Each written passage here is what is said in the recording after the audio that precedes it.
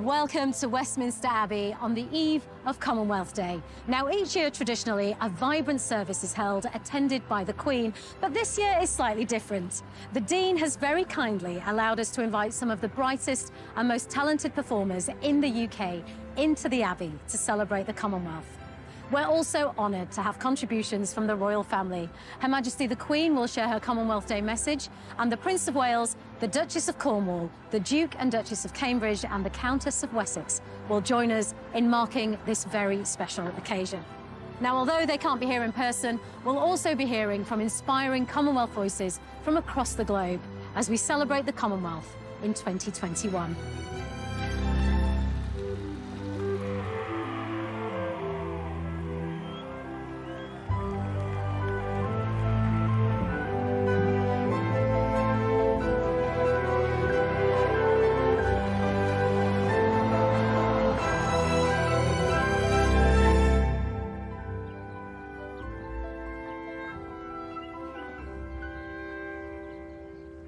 Thank you, Dean of Westminster, for welcoming us to your Abbey. Um, it's wonderful to be in this magnificent building. Tell us about Commonwealth Day and its connection to this place. Uh, we've been doing this for a long time. It's been annual since 1972. It's a great occasion for us, and we really enjoy the relationship with the Royal Commonwealth Society. All, all the Commonwealth countries have national days, and on their national days, the High Commissioner and very often members of the High Commission come to the Abbey and will say prayers for them. So I've been here just over a year now, and when we were allowed, I was getting into the rhythm of meeting these people for whom the Abbey and the Commonwealth and that association was really important. We're, we're steeped in it here, and we've kept those prayers going uh, throughout this last year. At the moment, there's no international travel. People are feeling very isolated around the country. Why is it so important, do you think, to reach out and celebrate our global community?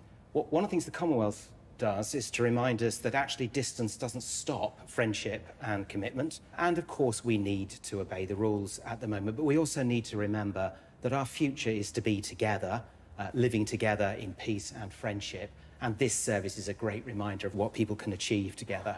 And what is Her Majesty the Queen's role in the Commonwealth? She's the head of the Commonwealth, uh, and that's clearly critical, but that doesn't quite tell you just, uh, just what her significance is.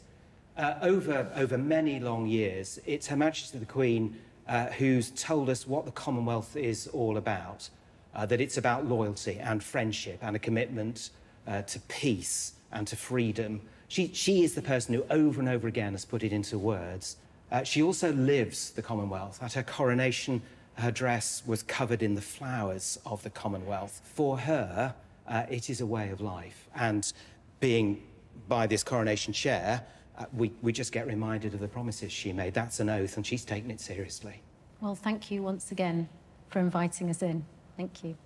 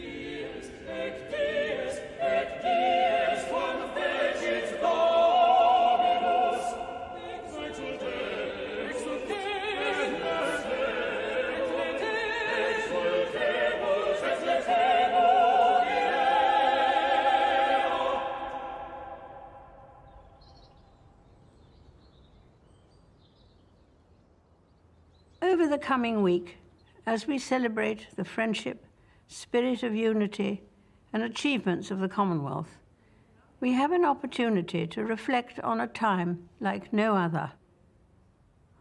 Whilst experiences of the last year have been different across the Commonwealth, Stirring examples of courage, commitment, and selfless dedication to duty have been demonstrated in every Commonwealth nation and territory, notably by those working on the front line who have been delivering healthcare and other public services in their communities.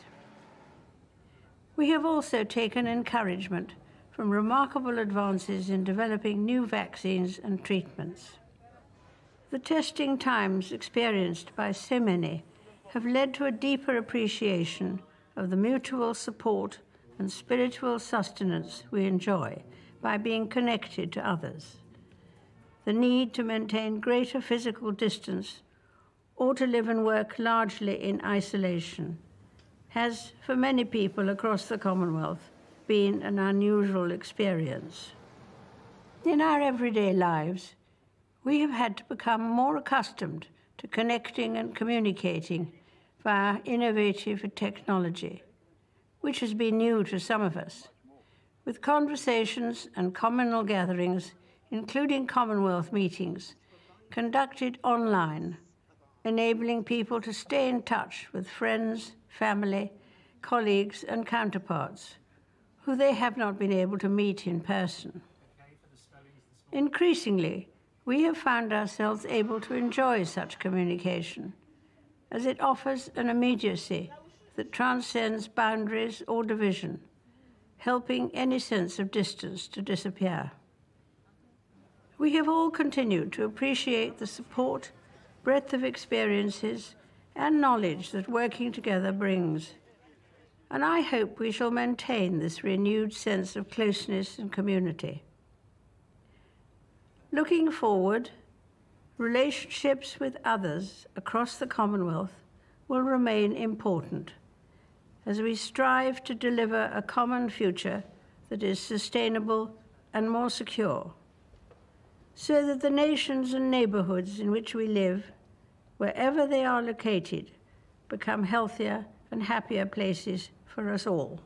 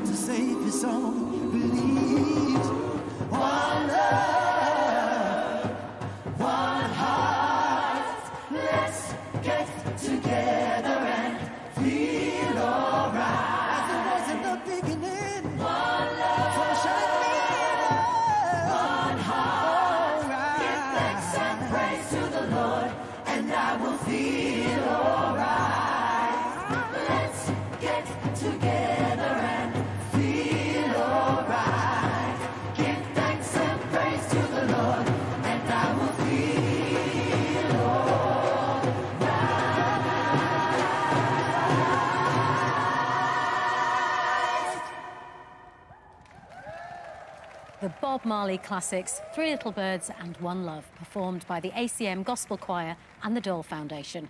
And we're grateful to Rhys Edward for carrying the Commonwealth flag. Our next contribution comes from the Prince of Wales. On Commonwealth Day, I am reminded once again that the essence of the Commonwealth is its remarkable diversity. A family of some 2.4 billion people from 54 nations across six continents, whose traditions, knowledge, and talents offer an incomparable richness of ideas and perspectives on the world we share.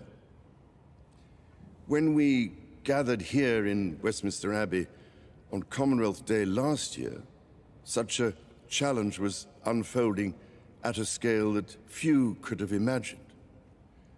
Twelve months on, the coronavirus pandemic has affected every country of the Commonwealth, cruelly robbing countless people of their lives and livelihoods, disrupting our societies, and denying us the human connections which we so dearly cherish.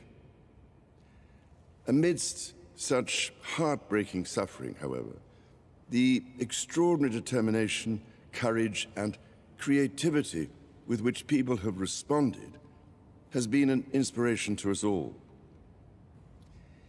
This pandemic has shown us the true nature of a global emergency.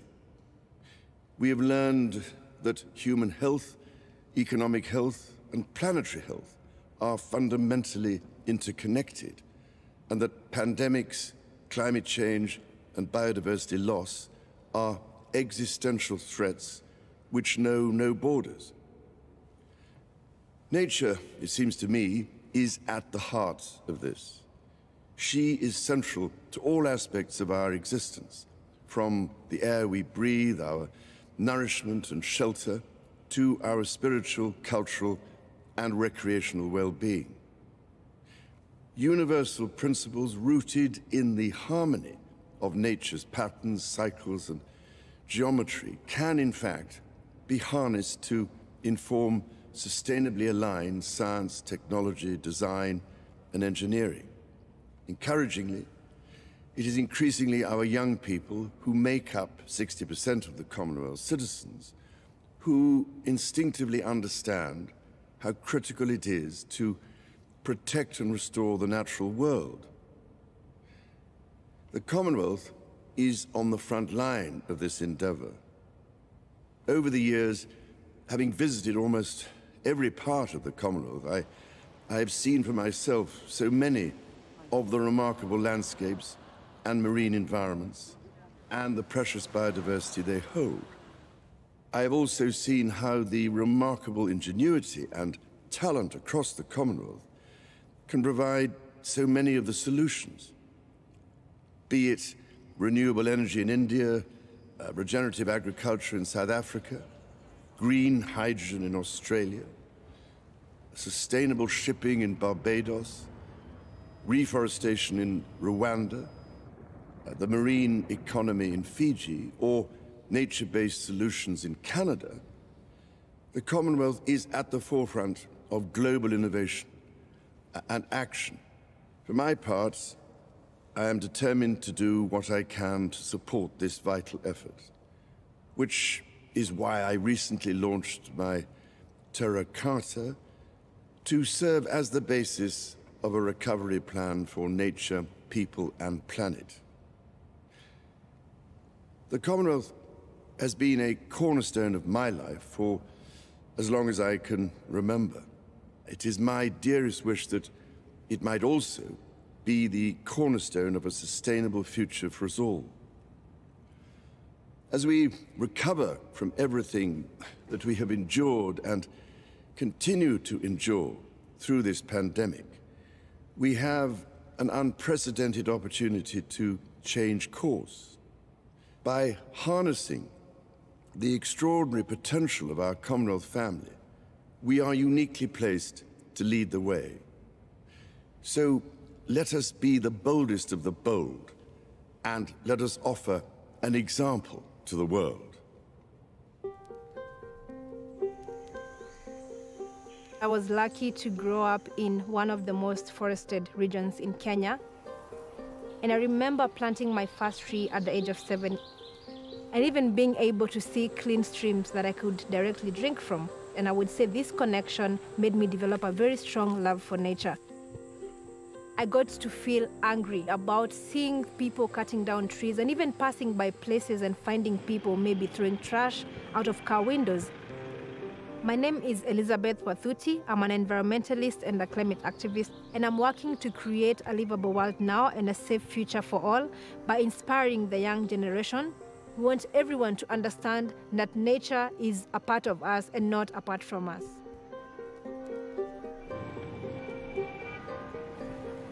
Nairobi River has, of course, been polluted as a result of different challenges, and the contributors can be citizens and also bigger industries at the same time. So every person is a part of this problem. And so at one point in time, I took children to see the state of the pollution. And I remember that I could see the sadness in their eyes. I could see that they were very much devastated. And of course, two questions that these children asked me, and one of them was, who did this? And the other question they asked me was, what can we do about this? So I thought to myself, why not create a generation of young people who are environmentally conscious and who can have that chance to also connect to nature at a young age and love nature at a young age? And what happens when you love something? Are you going to destroy it? No. Are you going to interfere with it? No. If you love a tree so much, are you going to cut it down? No. I decided to begin a campaign that I dubbed Adopt a Tree campaign, whereby I would ensure that every child in every school in my country gets a chance to plant and adopt a tree each in their school compound.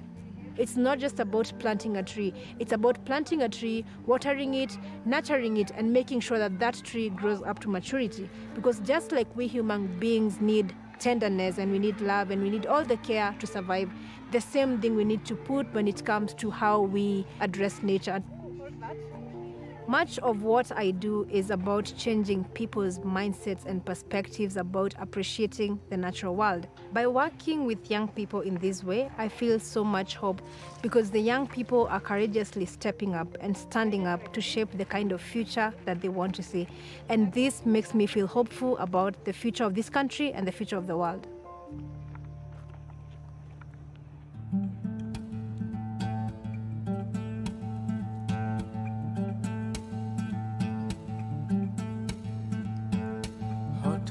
যদি আমি থেমে যেতাম, শেষ বিকেলে মতো অস্ত্র যেতাম। অসীম রাতে সেই শেষ হয়নে, সূর্যের সাথে আমি ঘুমিয়ে যেতাম। সূর্যের সাথে আমি ঘুমিয়ে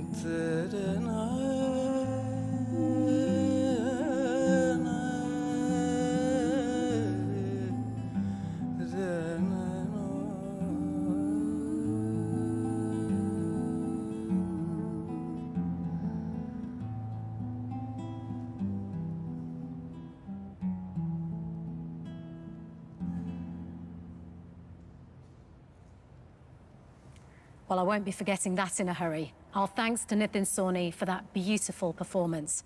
Now, the Duchess of Cornwall has a strong interest in reading and literacy and has launched an online reading room. She met with Clare Balding and Global Teacher Prize winner Ranjit Singh Disale from India in Poets' Corner here in Westminster Abbey. Sitting here in Poets' Corner with memorials to hundreds of wonderful writers, it seems the perfect place to discuss the importance of, of children's literacy. And it's a subject very dear to my heart as an author of children's books, and I know, Your Royal Highness, something that you care about passionately. I've always had a passion for books. Uh, books have been part of my life for so long. I started reading when I was very, very young with a, with a father who was a fervent bibliophile. So from, from the age of two or three, he used to sit and read to us children, take us on wonderful adventures sort of all over the world.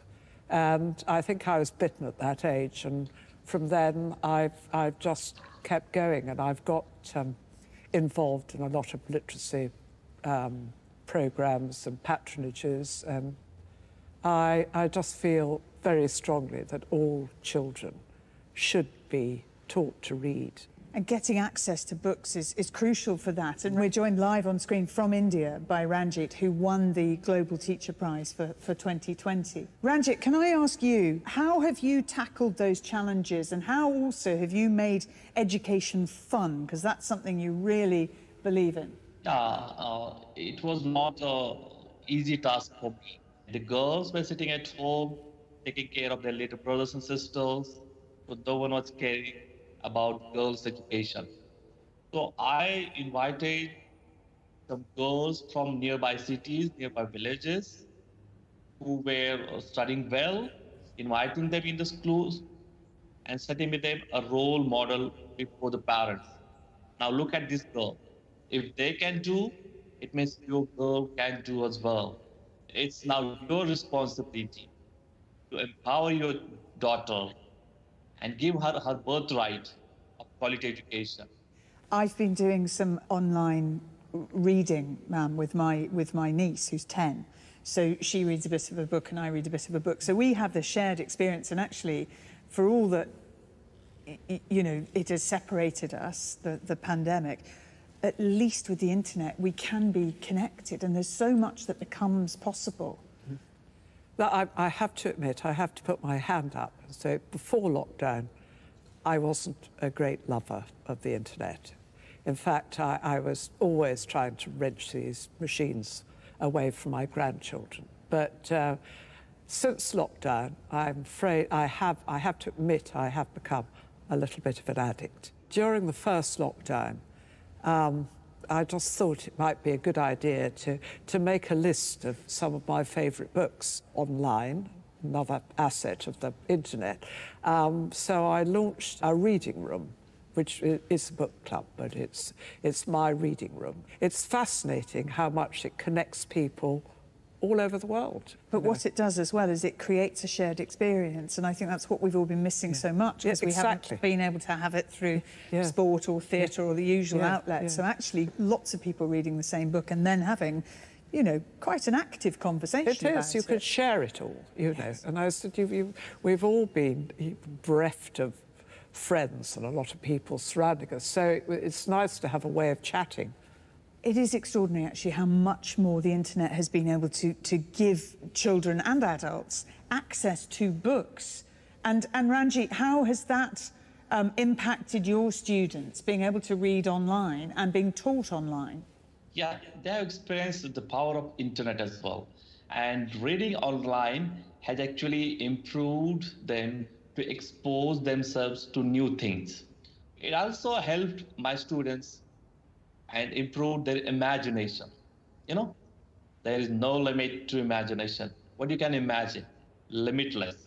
And also, it improves to reduce stress. Can I ask Ranjit one question? Um, there's a wonderful writing competition that I'm part of called the Queen's Commonwealth Essay Competition, where we get uh, uh, children from the Commonwealth to submit an essay. And I think it'd be lovely if you could get your girls to join in and, and write an essay. I'm definitely uh, doing that. Thank you so much for giving me opportunity. Well, thank you so much, Your Highness, and thank you to Ranjit. Be you far or be you near, somehow for me you're always there. I say a prayer and sing a song I always know it won't be long. Be I alone or not, I know. I never am, you're ever close. From city side to countryside, to continent to country, I take pride in knowing that I have a love that when below lifts me above. Together we, in unity, will be again in time to be. But tied we are by lines of love. Across the world, the tides are none. To separate the thing we share, that somehow always keeps us here. I know my loved ones far and wide will soon again be by my side. Though much we learn in times of woe, I know these days are soon to go. So come what comes, or come what may, if you're with me, I'll be okay. Although we've been apart some days, here on the line, I know you'll stay. And one day soon, I know we'll sing about the former, harder things, the troubles that we've all been through, that time and strength will take us through, to days of joy and light and mirth where'er you be upon the earth. So when you celebrate and do, know that we are here with you. Different parts of the Commonwealth have had very different experiences of COVID-19. In New Zealand, with low levels of transmission, life has continued as normal in many parts of the nation. This has allowed the New Zealand Youth Choir to keep singing and keep sharing their music. They recorded a special Maori song of greeting for us, a call of friendship, despite the distance.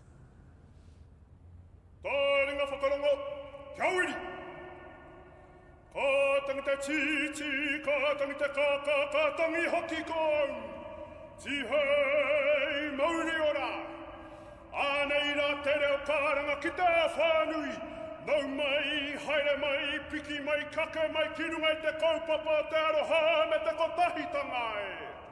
Pano, pano, hara mai te toki, haumia huia, huia!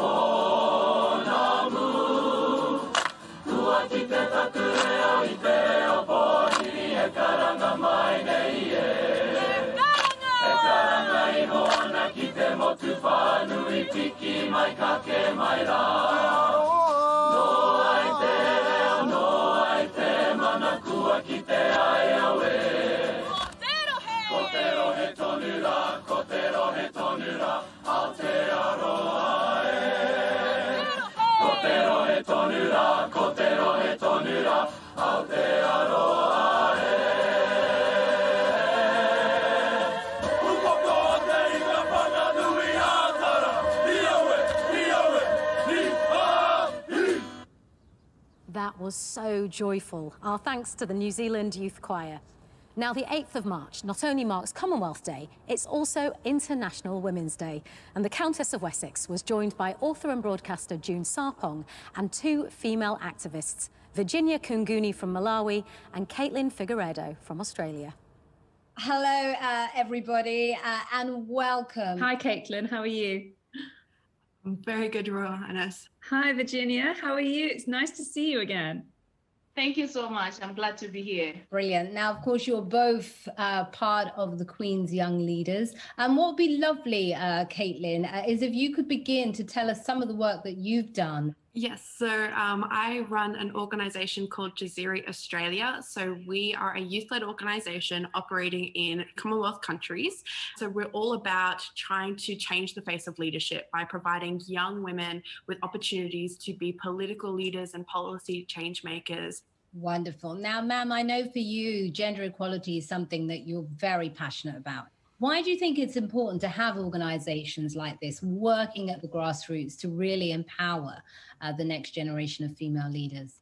There's no end of passion from young people, um, and there's no end of desire to want to do something. But often I think they find um, what's my next step? How do I get involved? So for Caitlin to have created an organization to put them in front of people where they can start to feel that they're having an influence is astonishing.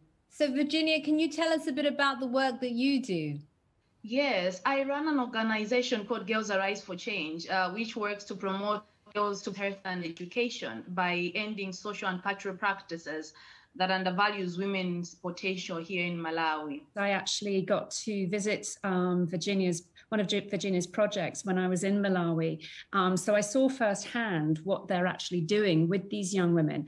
Um, and I think what's really important here is that she's helping them to create uh, training and business models that actually are appropriate to where they are we need to train more women to become financially independent that is by not by giving them money to run businesses but by giving them the skill because when we give them a skill the skill is a life it's a lifetime asset for them than giving them money. Um, often women's voices are not heard at the top and we don't have a seat at the table not in the number that we should. Um, how do we ensure that that becomes the norm especially with everything that we see happening with covid and the fact that actually we are regressing better policy and better outcomes are achieved when women are in the room, when more than half the population are in the room and getting to make sure that all of their voices, all of their issues are represented. Brilliant. I love that. And, and ma'am, would you like to add to that?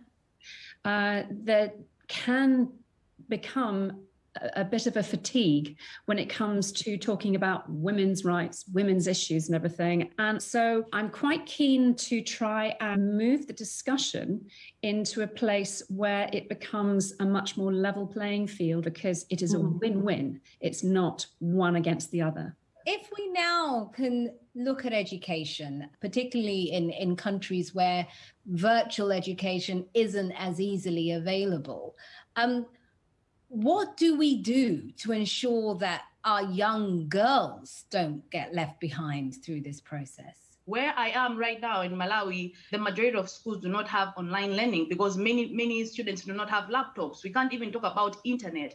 So as we are going back to uh, developing education uh, through this COVID pandemic, we really have a very big job because we've had a setback. It is a real worry because there's obviously a lot of the Commonwealth countries that have got, we're still trying to get girls into education. Where are the gaps going to be there? What is going to be happening to those girls right now? Young people in particular, they have those innovation mindsets. They they want to support and they want to connect. I always say, as women, we need to learn that we are not competitors, but we are supporters of each other's progress.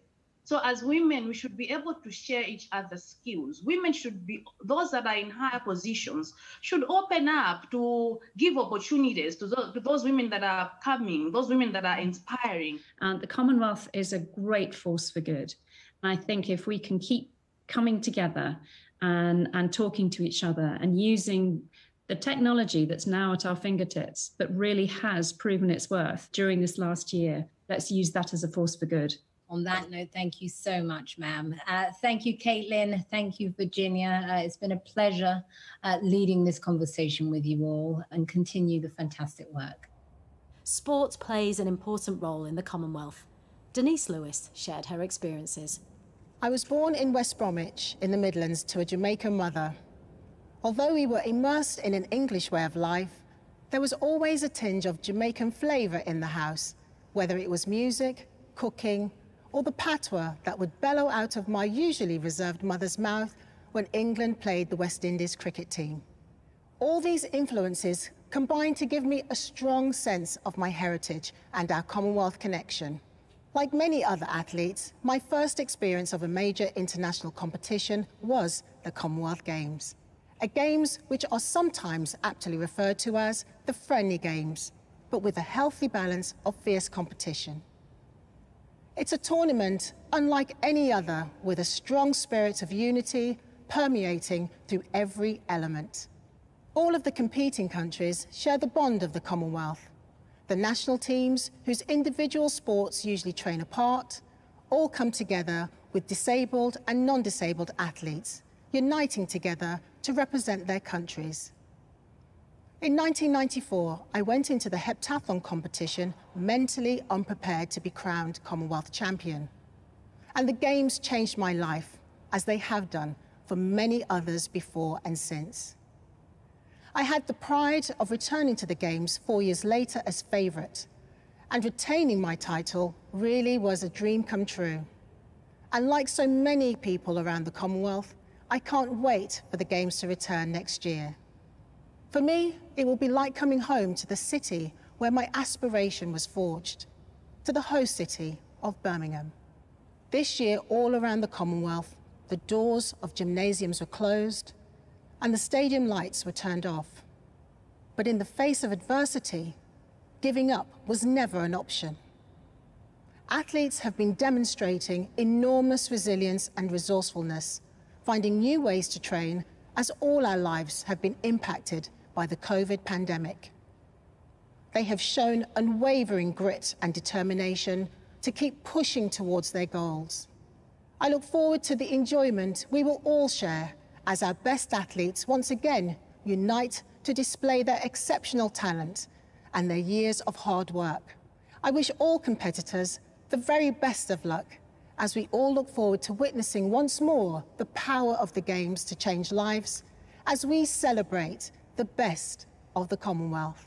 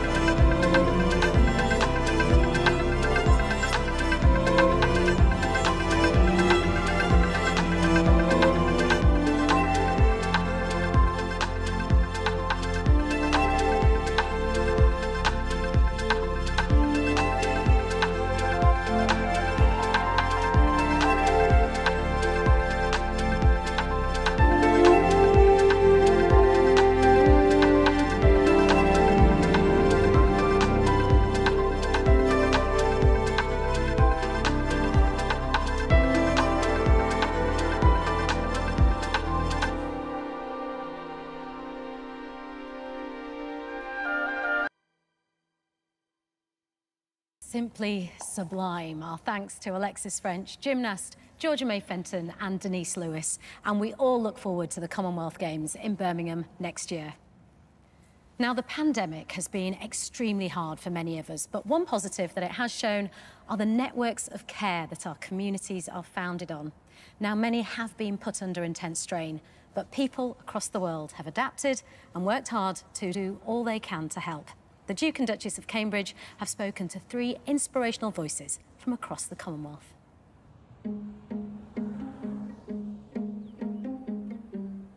Hello, my name is Dr. Zolelwa Sifumba. I am a medical doctor and a frontline health worker all the way from South Africa, advocating for the healthcare workers in the world. Dr. Zola, can you hear us? Uh, hi. Yes, I can hear you. Hello. Maybe could you give us both just a little bit of a, a brief picture of what it's like in South Africa at the moment with COVID?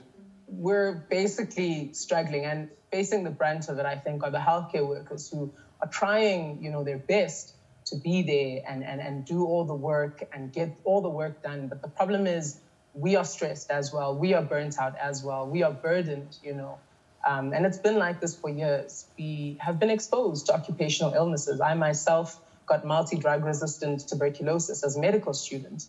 It's been tough because of the circumstances that we've had to practice under anyway. And now the pandemic has put on a bit more, a lot more pressure.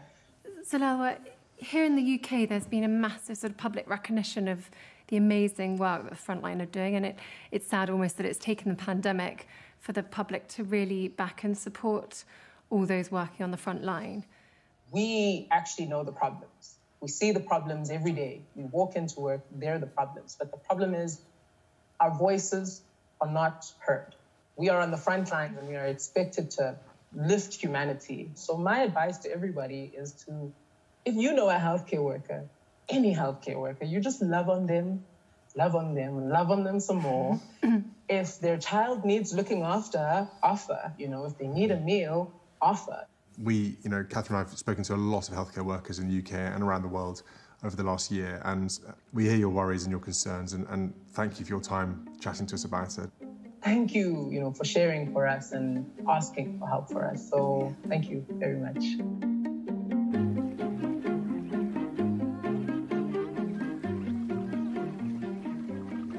My name is Faisal Islam and I am the co-founder of SafeWheel, an affordable emergency medical service provider for the rural people of Bangladesh.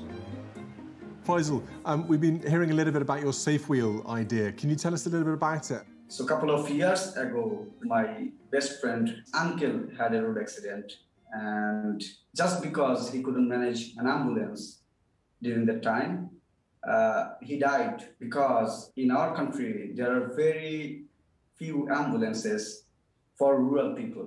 So our solution is that we designed a low-cost mini ambulance. So now they can get an ambulance with very affordable cost, unlike the regular ambulance. And we have planned to reach as many villages as possible and help more people. And, and how are your rickshaws kitted out? Uh, what we have is basic healthcare equipment like an oxygen cylinder and some other sorts of necessary equipment that uh, can save save the patient during that emergency situation. Faisal, very nice to meet you, and you know it's a fantastic idea, and uh, we both wish it every success in the future. Thank you very much, Your Royal Highnesses.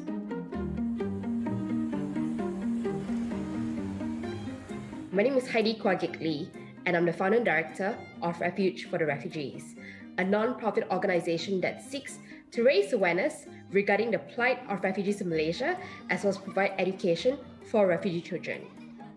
Maybe you could just give us a little bit of a picture as to why your organization, Refuge for the Refugees, even needs to exist. What is it that's a situation like uh, in Malaysia that, that made you want to set this up? when refugees are here in Malaysia, they don't have access to education, healthcare, job opportunities. So they're often in limbo, you know, and not everyone gets resettled. If even if they do, the waiting process is anywhere between 10 to 15 years. And these kids, if they don't get access to education of sorts, they get left behind for a very long time. And Heidi, has the recent pandemic made it even more challenging, not only for you to carry out the work, but also for the refugee communities? The lockdown has been difficult because the reality is for the refugee and migrant community, um, they don't have access to Wi-Fi or internet or devices that allows you know online engagement. So I think that has been hard. And Heidi, do you know how many refugees have benefited from your programs? I guess in total, we've reached about um, close to 200,000 refugees. Wow, Yeah. that's a that's a si- sizable amount of people you've reached, and it's um it's fantastic what you're doing, and just a huge congratulations from Catherine and I, I think, in, in terms of what you're what you're managing and, and, and dealing with. And especially now, obviously, with the extra challenges, but really well done. You're obviously a, a vital source and a vital support to, to all those um, refugee communities out there. So keep up the hard work. Thank you. Thank you so much. Nice to see you. Bye bye. Take Bye-bye. care.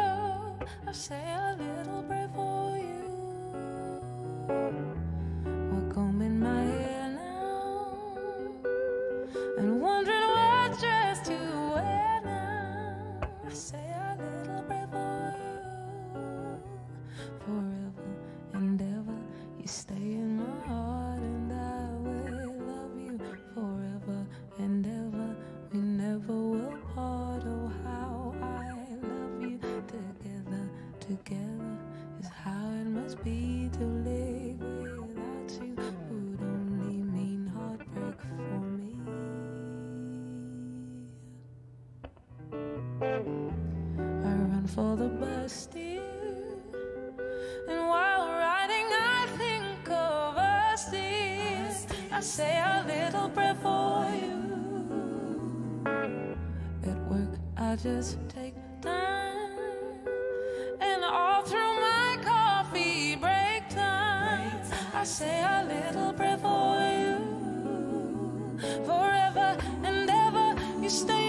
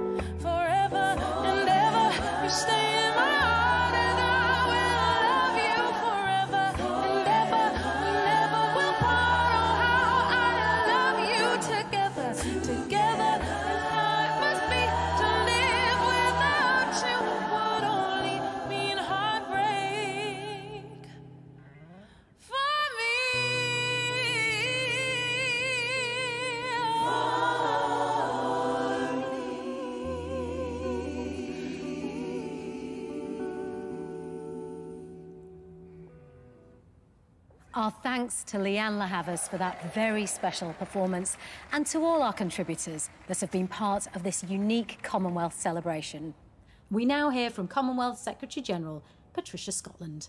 Let us pledge ourselves afresh to uphold the values of the Commonwealth, that every person possesses unique worth and dignity, that we should be good stewards of nature and of the whole earth, that there should be justice for everyone and peace between nations, that joining together as a worldwide family, we build on shared inheritances, that we cooperate with mutual respect and goodwill to deliver a common future for the good of all.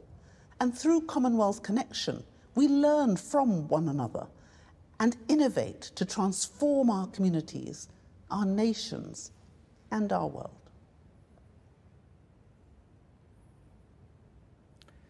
In this house of prayer, year by year, we celebrate our life as a commonwealth and as God's people. In the midst of a challenge that we all share, we ask for God's guidance and grace in looking for a better future that we can also share. It is our prayer that we might be agents of a deeper peace and a greater justice. So we ask for the gifts of an imagination that can hope abundantly and a courage to seize that hope. Confident in the richness and range of our Commonwealth today, we seek God's blessing that we might be a common people in a Commonwealth of grace. Lord God, hope of all the nations, when we feel isolated and alone, strengthen the bonds of our affection. When we face illness and death, renew our confidence in you. When fear and mistrust infect our words, renew us in the truth. And when we have great challenges before us, strengthen us. Bless, we pray, our Queen, the work of the Royal Commonwealth Society, and our shared witness that this Commonwealth of Nations may be a sign of the hope that is in us and a glimpse of the glory that you alone can give. As our Saviour taught us, so we pray. Our Father, who art in heaven, hallowed be thy name. Thy kingdom come. Thy will be done. On earth as it is in heaven. Give us this day our daily bread. Forgive us our trespasses. As we forgive those who trespass against us. And lead us not into temptation. But deliver us from evil. For thine is the kingdom, the power, and the glory. Forever and ever. Amen.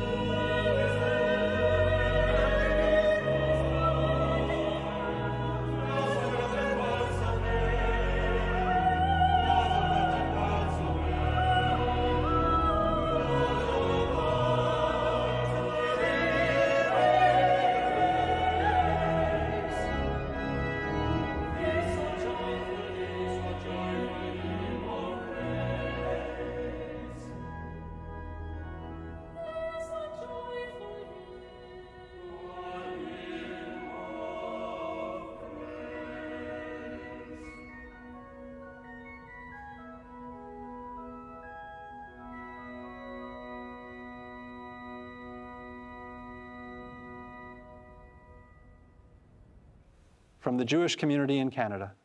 May the Almighty bless the Commonwealth. ශ්‍රී ලංකාවේ සිට පොදුරාජ්‍ය මණ්ඩලයේ සැමරුම් දිනයට තුනුරුවන්ගේ ආශිර්වාද ලැබේවායි අපි සිත් පතමු. God bless the Commonwealth from the Baha'i community in Zambia. ਤੀਨ ਦੁਨੀਆ ਦੇ ਮਾਲਕ ਸਾਹਿਬ ਸ੍ਰੀ ਗੁਰੂ ਨਾਨਕ ਦੇਵ ਸੱਚੇ ਪਾਤਸ਼ਾਹ ਜੀ ਦੇ ਸਰਬੱਤ ਦੇ ਭਲੇ ਦੇ ਪੈਗਾਮ ਅਨੁਸਾਰ ਕਾਮਨਵੈਲਥ ਸਾਰੇ ਦੇਸ਼ਾਂ ਲਈ ਸਤਿਗੁਰੂ ਸੱਚੇ ਪਾਤਸ਼ਾਹ ਜੀ ਮਿਹਰ ਭਰਿਆ ਹੱਥ ਕਿਰਪਾ ਬਣਾਈ ਰੱਖਣ God bless and protect the Commonwealth communities. Kugongo Elipoka Lizolonge. বিসমিল্লাহির ভিন্ন ভিন্ন জাতি ধর্ম বর্ণ ও সংস্কৃতির ঐক্যের প্রতি সমন্বয়ের দীর্ঘজীবী হোক আমিন May God bless all the people of the Commonwealth. God grant to the living grace, to the departed rest, to the Church, the Queen, the Commonwealth, and all people, peace and concord, and to us sinners, life everlasting. And the blessing of God Almighty, the Father, the Son, and the Holy Spirit be amongst you and remain with you always. Amen.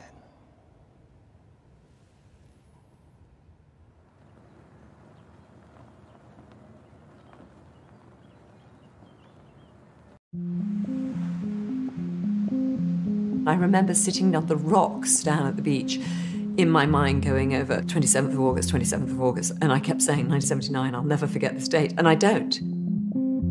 Every year that date comes round and we remember it. Forty years ago, Lord Mountbatten, the great uncle of Prince Charles, was blown up at sea by the IRA at Mullaghmore off the west coast of Ireland. By killing Mountbatten, you sent ripples around the world in a way which no other assassination could have achieved. No member of the British royal family had been murdered by terrorists within living memory. At the time, I could not imagine how we would come to terms with the anguish of such a deep loss. Three others were killed on the boat, including two teenage boys. There was a mighty bang, a huge crack like thunder, and I immediately said, Paul is dead. The day was marked not just by the Mountbatten bomb, but by a second IRA attack that killed 18 British soldiers at Warrenpoint across the border in Northern Ireland. The IRA couldn't believe their luck. For the nationalist population, we were monsters. This is the story of that day, told by those directly affected by it. It is hard when you see the wounds that never really got sewn up from that day and that tragedy. And, and, and that is hard.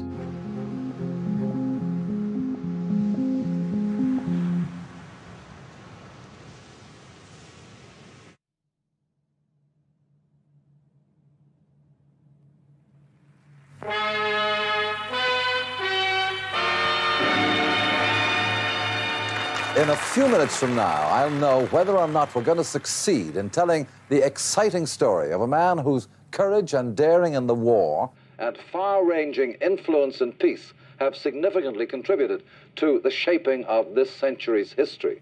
The man I'm after has no idea that I'm going to be I remember there. going to the studio. I remember the dress. I had to wear my sister's hand me down dress, always a hand me down dress.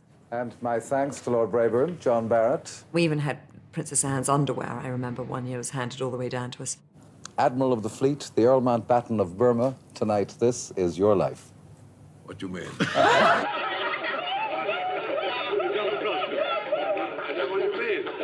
Inside here, we have a whole host of surprises for you. Amazing that they managed to pull that off.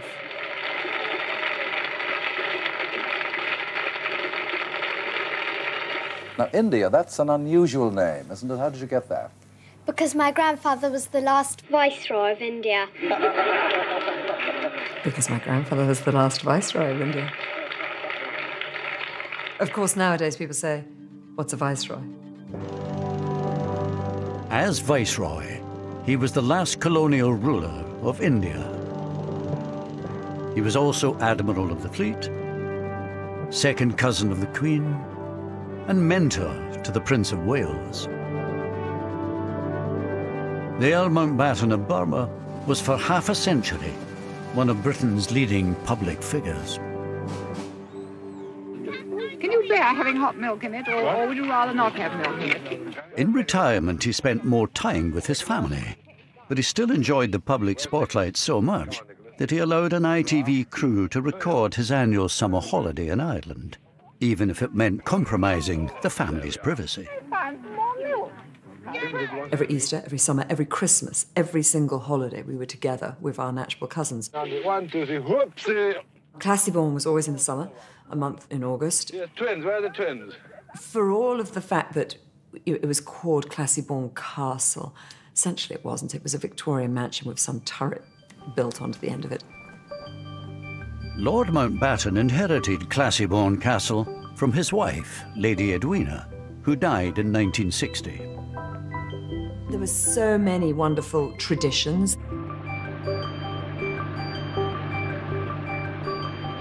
The heart of the holiday was going out on the boat. I would go a lot on the boat. We all did. The building of the dams, that was absolutely a tradition and taken very seriously. Um, everybody knew what they had to do. Give it to me, I. Listen, you start, make the hole here. There it is, see? From here, then you start doing the dam. Out of the way, Fee. You see, he was um, admiraling, wasn't he? No, put it this way. Go on, do it yourself. Do as you're told. Yes, I did. There we are. There you are. It would be hard to be chief of combined operations and then not be in charge of the family dam. Let's face it. The Mountbattens were generally viewed by the locals as benevolent, well meaning, helpful people who it was nice to have around. The neighbourhood benefited as a result of their presence. Each summer, the Mountbattens would take up residence at Classiebawn Castle, overlooking the pretty fishing village of Mullaghmore. The family's visits brought a touch of glamour and jobs for the locals. This photograph here was in the dining room of Classiebawn at a, a dinner. That's just me there. When you look back so many years ago, it's now 40 years, you can always say the memories of, of them are happy ones. And that's the most important thing of all. Do you remember this mother? Lord Louis gave you this book. Yeah. Um, to Mrs. Barry, with grateful appreciation, Mountbatten of Burma, Classiebawn Castle, August 1978. And it was Barbara Cartland's book of useless information. So my mother treasures that very much. I think that's the last thing he, he gave to her.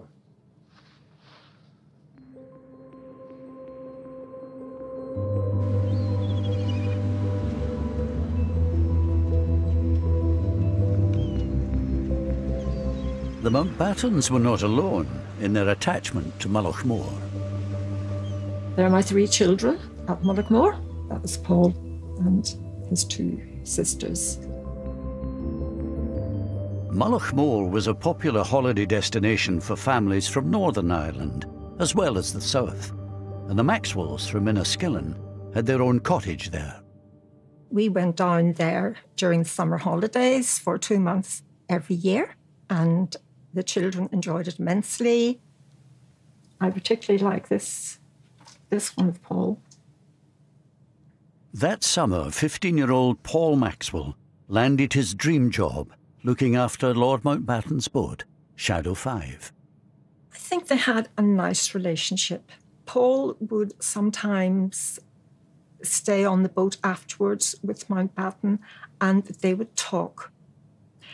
And he told Paul about going into the Navy. And he said, You know, I went into the Navy when I was 12 years old. And I saw active service when I was 16. And Paul said to him, Were you not frightened, my lord? And he said, Yes, but you didn't show it. And you can see Classiebawn in the background there, in the distance.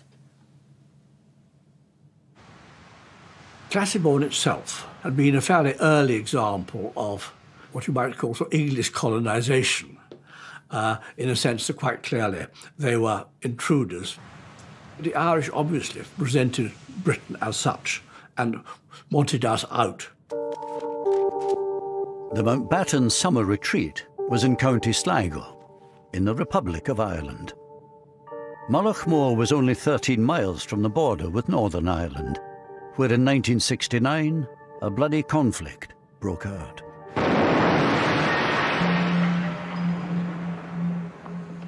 Catholics in Northern Ireland resented being treated as what they saw as second-class citizens, and the IRA took up arms against the British state.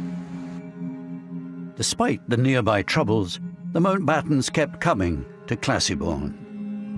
They enjoyed protection from the local police, the Garda, but it was all kept very low-key. The families themselves were very rarely targeted at all, and there was very little personal animosity. But I don't believe the Garda, more than anybody else, believed that actually there was a serious threat. Judging the appropriate level of security for the Mountbattens was a tough call.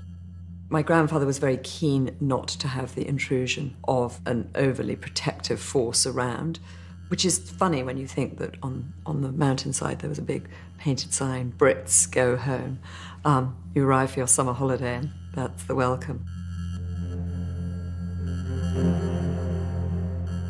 A reminder that while the fishing village of Mullaghmore itself may have welcomed the Mountbattens, County Sligo had deep roots in the Republican movement. Mountbatten would have been seen by people in the area leadership as a cultural icon of, of, of the British establishment. Anthony McIntyre joined the IRA in Belfast in 1973. He wanted to get the Brits out and create a united Ireland. Although he later fell out with the IRA, he understood their mindset at the time. He would have been targeted, and his targeting justified on the grounds that by taking him out, there was a, a blow been administered to the very heart of, of, of the British establishment. It turns out that throughout the 1970s, Lord Mountbatten had been a potential target for the IRA. Kieran Conway had risen through the IRA's ranks to become its Director of Intelligence by 1975. He reveals for the first time that an attempt on Mountbatten's life had been actively considered four years before the successful assassination. In the mid 70s, there was an operation cleared to uh, kill Mountbatten. He was to be ambushed either exiting or entering his castle. Five men. A, a, a spotter car uh, somewhere distant. Then walkie talkie communication between the people with the guns in the car uh, to say he's on his way. You'd know roughly how long it was going to take. And, uh, and then um, open up in the car.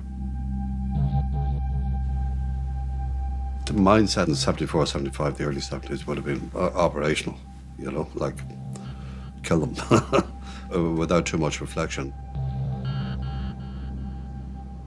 I think he would have been astonished if told that there were IRA members in Ireland who were interested in his existence, let alone wanted to murder him.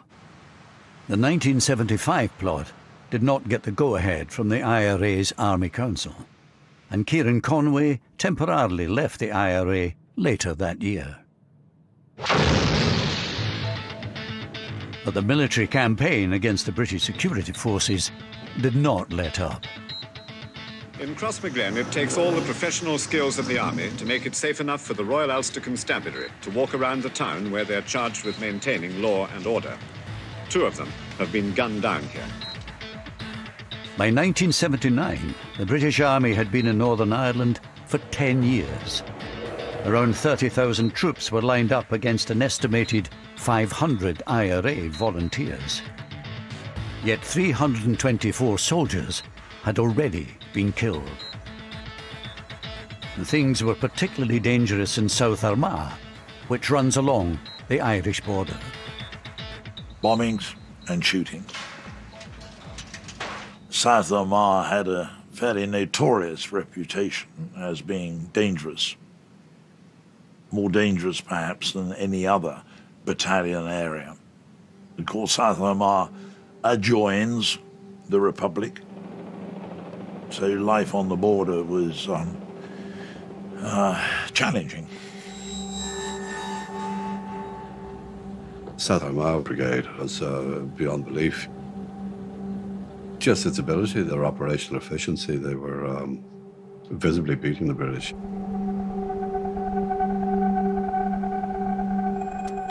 In the summer of 1979, the South Armagh Brigade was plotting two of the most ambitious attacks of the IRA's campaign so far. One in Warrenpoint, the other just south of the border in Mullaghmore. There, during the night of the 26th of August, the IRA planted a remote-controlled 50-pound bomb on Lord Mountbatten's boat, Shadow 5, sitting unguarded in the harbour.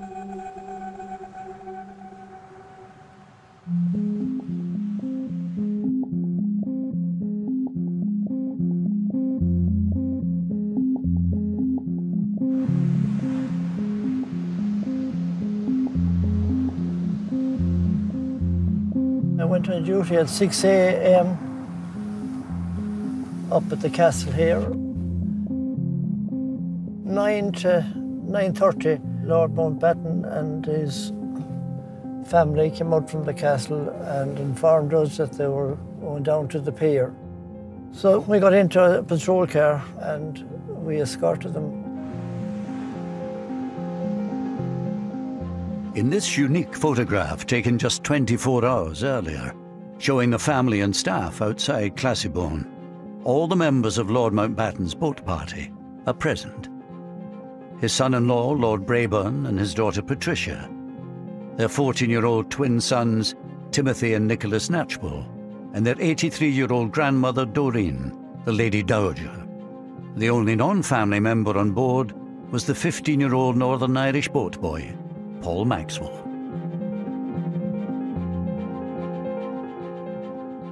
The day itself comes to me in flashes, rather like small explosions. I remember distinctly sitting in the library with my brother.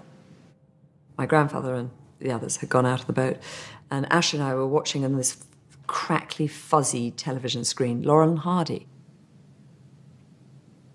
On that day, the 27th of August 1979, I was sitting on the back patio with Paul's father and Aunt Lisa. Paul said, Goodbye, Mum. See you in the evening. I didn't think that was the last time I would ever see him alive.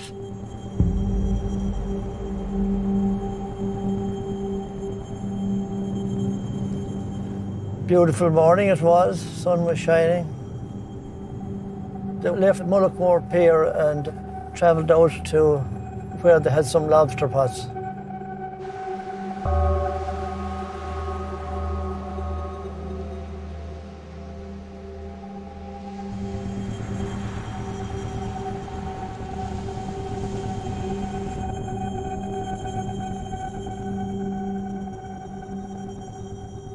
This is where we were. Yes, looking out, you could see the boat as it came along.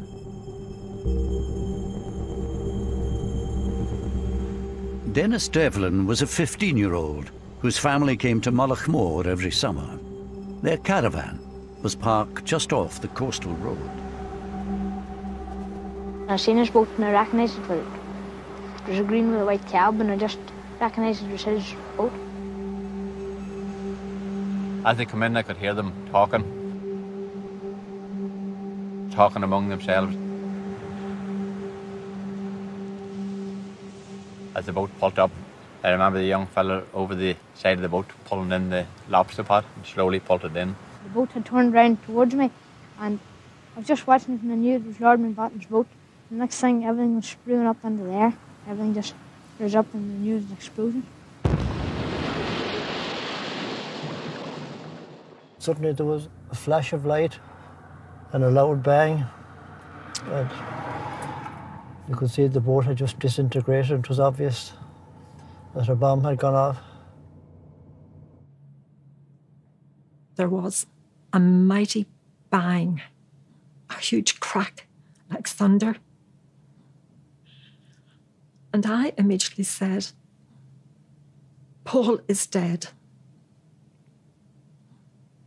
And I knew he was dead because I felt a part of me go.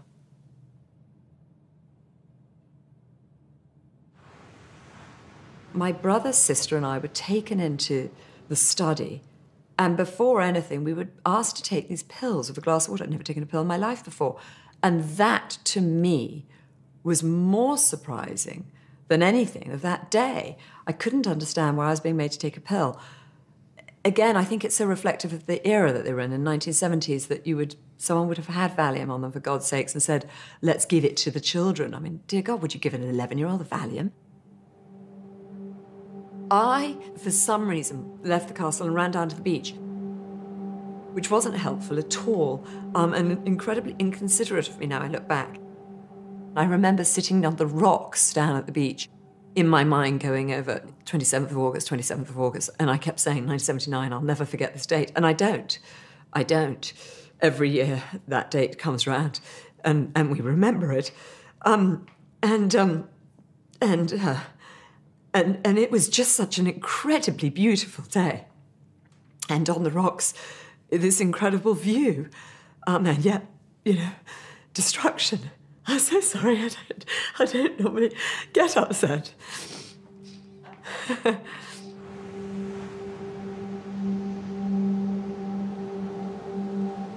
I remember it very vividly, every, every moment of it, really, from the very start to the very end of the day, and I think I'll always remember it. Lord Mountbatten's boat had exploded. So immediately I got two friends and we went out on the boat to see what we could do. And um, we arrived there and those other boats that were in the near vicinity, they were already lifting the survivors. And at what point did you realise that Mountbatten himself had been killed? I think when, when we actually took him from the boat that he'd been brought ashore in and uh, brought him to the ambulance. That's the first that I realised that he had actually been one of the fatalities. He, he was one of the first who was actually taken ashore.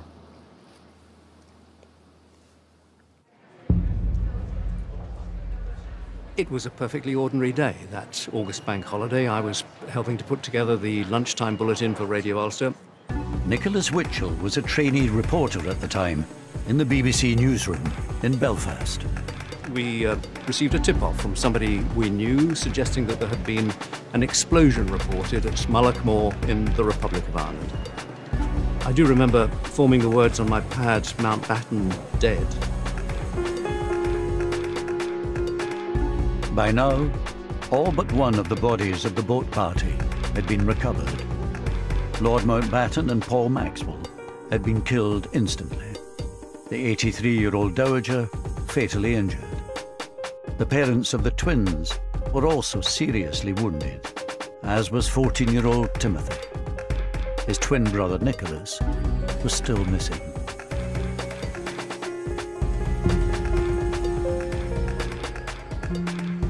You could see this beautiful blue azure sea just off to the north end of the little peninsula, which Mullaghmore is.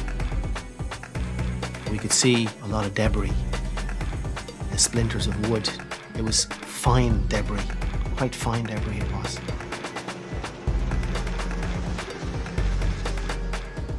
I was winched from the rescue helicopter. I was placed into the water beside what looked like the bubble of an anorak. I placed my hand and pulled it, and it didn't yield very easily, and I pulled it a second time.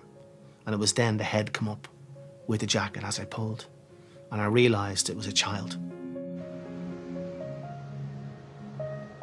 Imagine what those thick Aran sweaters must have felt like clogged with oil and water being lifted out of the out of the ocean and you know how long had Nick been floating in the water, you know. It was the first child that I handled in death. It came as a, a terrible shock to me, I can tell you, but I'm in rescue mode. I need to get him out of that water. I need to give him over to his family. 14 year old Nicholas Knatchbull's body was returned to Mullaghmore Harbour. It's the, the last photograph we have of Paul. That's Paul. And that is Nicky and Timmy. One boy survived and the other two were killed. He survived because he was up on the roof. Mountbatten was in the middle between Paul and Nicky. And so they got full blast.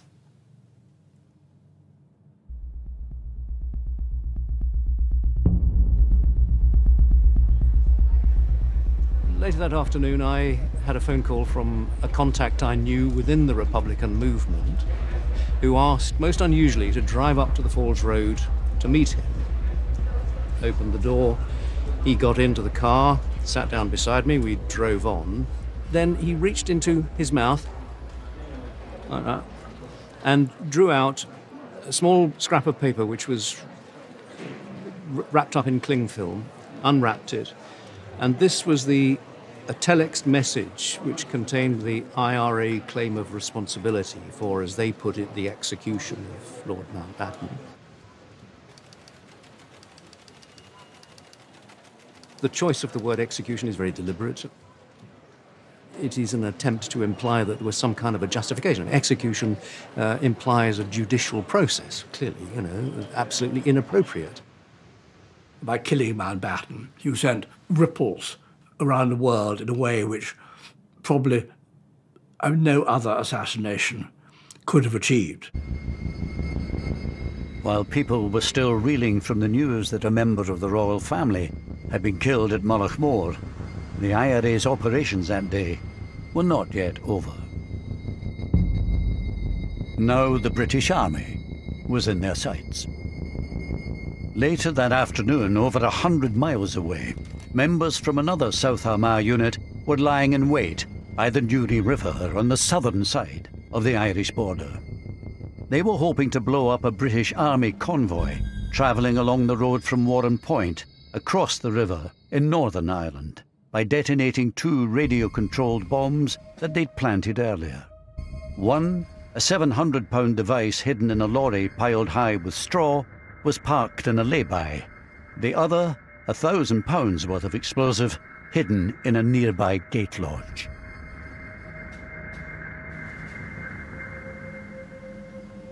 Travelling down, I remember messing about with a car behind us. Tom Caughey was a local boy from Newtownards who had joined a parachute regiment at 18, as his father had before him. That day, he was a passenger in the lead vehicle of the two-truck convoy. Had a packed lunch and had oranges and we made little teeth out of the orange, you know, and there was a, a car with a lady and kids in it. And we were smiling at them, you know, that type of banter. Ten minutes later, we were blown up.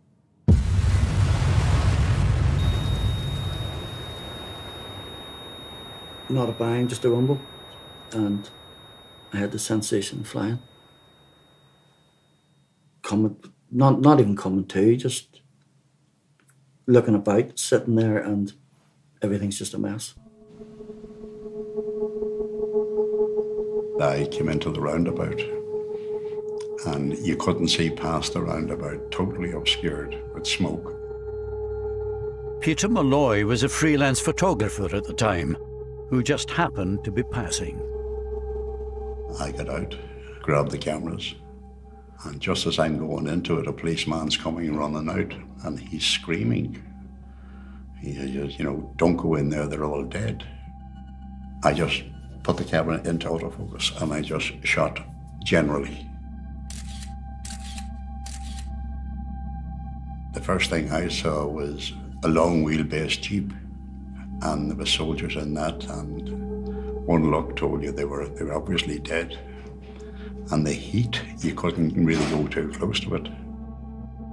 Everything was burning. And my legs were on fire. No, I couldn't move. And the next thing, the guys were on me. They were pouring water, you know, trying trying to put me out.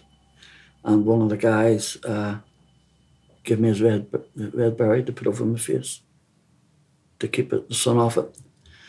And I remember lying there and voices dead, he's dead, he's dead, dead, he's dead, he's dead. And voices getting closer to me. And whether I imagined this or whether I don't know, but it, I vividly remembered. I remember saying, I'm not dead. You know, and taking the berry off, you know. It was like a roll call of the dead. Seven of the nine paras travelling in the first truck had been killed. Tom Coche, along with his friend Paul Burns, were the only survivors. But the carnage didn't end there. A very fine English voice shouted, There could be a second bomb. Take hard cover. And they all went over towards the gate lodge. Across the river, the IRA bombers were lying in wait, ready to detonate the second bomb. They'd predicted correctly where the surviving British troops were likely to regroup. I remember getting put in that chopper and Paul Burns being put in. I remember looking at his face and it was like something out of Tom and Jerry when the cigar goes off in your mouth and your face is black. And with all little he was like a straw man, little bits of straw stuck in his face. And then, boof, bang it goes again. Boom.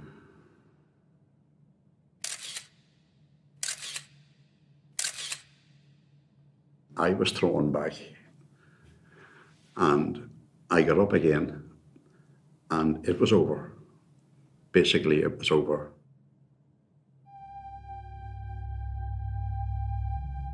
The 27th of August had started badly for Mike Jackson. The news came through of the Mullaghmore bombing and the death of Earl Mountbatten, amongst others, which was obviously very shocking. Now, as the news broke that his fellow paras had been ambushed at Warrenpoint, Jackson himself was called into action. The brigade commander looked at me and said, Mike, what are you doing here? You go down to the site, secure it, and take on all the aftermath. And so I gave out some rapid orders um, and, and got on the first light helicopter I could. There's no communication. All telephones are cut off, so you're waiting for word to come back from your own from your own lads to what actually is going on. Is there a bit of you thinking that's my mates? Yes, absolutely. And you want to know who it was because you know that some of your mates were being killed, were killed. So yes, you did want to know. Dead, dead, dead, dead, dead.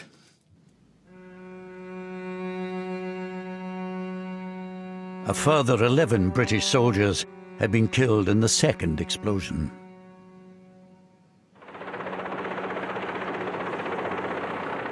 I get to Warrenpoint, and um, it's a pretty grim sight, as you can imagine. There were body parts um, pretty much everywhere. and the trees were everywhere.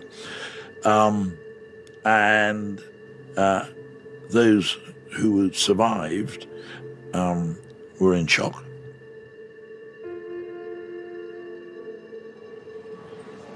It was absolutely obvious right from the earliest point that this was a death toll on an exceptional scale. It transpired, of course, that 18 soldiers had lost their lives, the greatest single loss of life that the British Army had uh, suffered in Northern Ireland.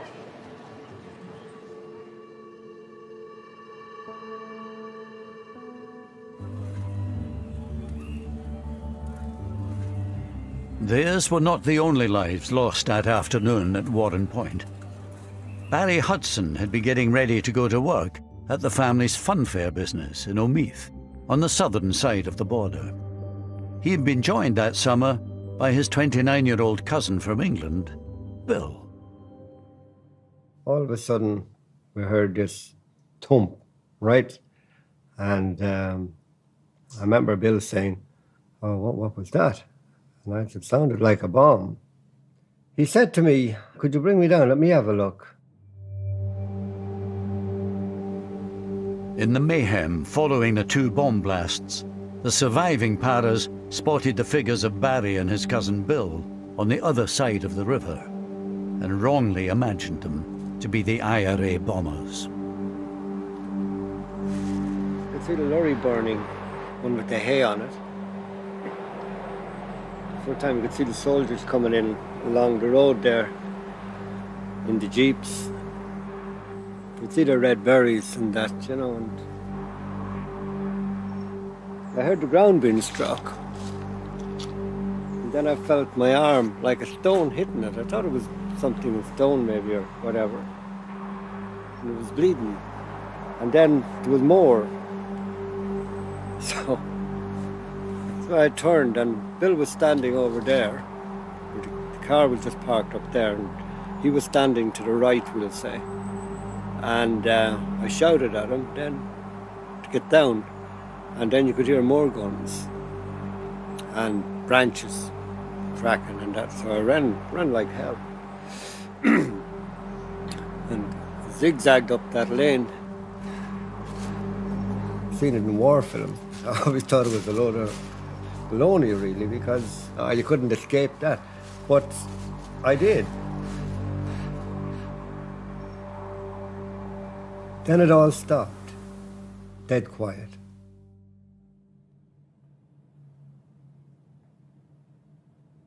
So after about a minute or two, I thought my cousin should be coming up now. I, I just thought he'd get up and come back up.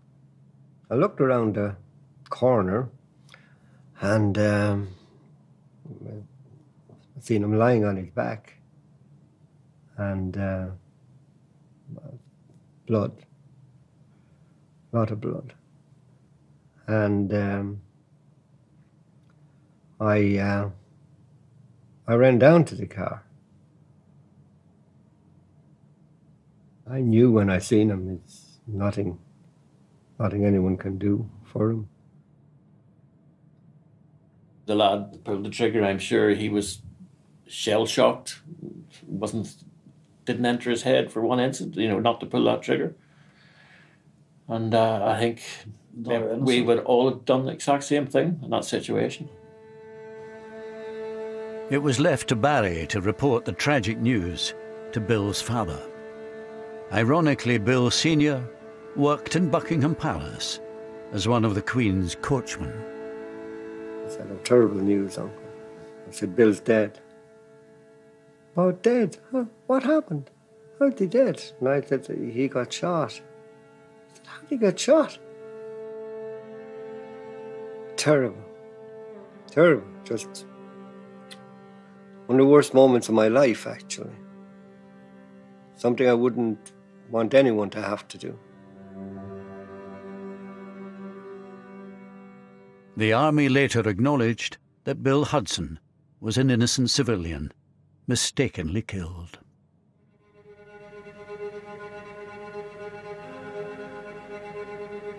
This multiple killing, the worst the security forces have ever suffered in Northern Ireland, coming as it does after the Mountbatten tragedy, must serve to only further heighten tensions in Northern Ireland. Word quickly spread of how meticulously planned the IRA operation at Warrenpoint had been. Anthony McIntyre was an IRA volunteer locked up at the Maze prison at the time. I thought it was impressive. I thought it was ingenious because not only did they detonate the first device, they had to wait until the British Army backup arrived and positioned itself behind the gate post and then detonate the, the second one. So it took nerves of steel for the volunteers to sit there and do that. It was absolutely militarily fantastic, brilliant. I don't want to say the word fantastic, but you know. But the big bonus that they had that they didn't normally have was they were in a different country. They had no need to run away. Yeah, they were in the They south. were in the south. And that's why they could take their time. You take advantage when you can, and, and they did.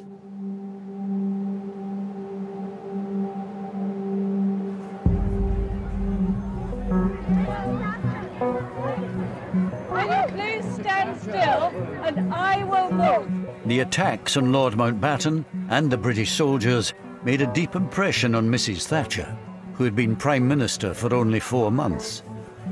Within 36 hours, she landed in Northern Ireland on an unscheduled visit to investigate what had happened and to offer reassurance. When she went to Northern Ireland, I remember the walkabout in the shopping mall, um, which I thought was an extremely brave thing to do. N- Not because there was much risk of being shot in that environment, but simply because there would be a lot of people in the shopping mall who didn't like her very much. Mrs. Thatcher, we want the freedom of our country and your soldiers out! She was a very feminine person. And it's not allowed us to. Yes, basically. She was profoundly moved. Uh, she didn't blub, but tears came to her eyes. Well, it could have been a lot worse. She only very rarely wept, um, to my knowledge anyway. Um, and when she did, there, there was good reason for it. She's not everybody's cup of tea, I know that. But she was able to relate, and they to her, to the soldiers. Boadicea. Very doughty lady.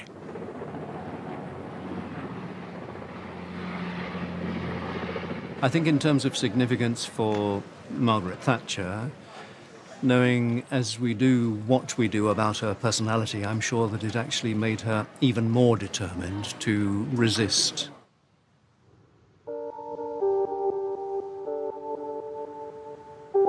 Mrs. Thatcher's flying visit did not extend to the scene of the Mountbatten bombing over the border in the Republic of Ireland. Here, too, the events of that day had made a huge impact. While it was recognized that the IRA had pulled off two audacious military operations, in PR terms, opinion was divided. Almost everybody spoke with regret and shame about what had happened to Mountbatten. And that sense, this is our territory. How dare they do this on our territory? But there were a number of people, I won't say a majority, but there were a number of people who said what happened to Mountbatten was wrong. But as far as the British soldiers are concerned, listen, those that live by the sword die by the sword. This feeling was reinforced by the fact that 16 of the 18 British soldiers killed at Warrenpoint were from the paratroop regiment. The Paras were deeply unpopular on both sides of the Irish border, thanks to an infamous incident that had taken place seven years earlier. There is no other single incident in Northern Ireland that unites nationalists of all colour, north and south, like Bloody Sunday does. Because to us, it was the deliberate killing of peaceful protesters on a march in Derry. 13 civil rights protesters were killed on what came to be known as Bloody Sunday.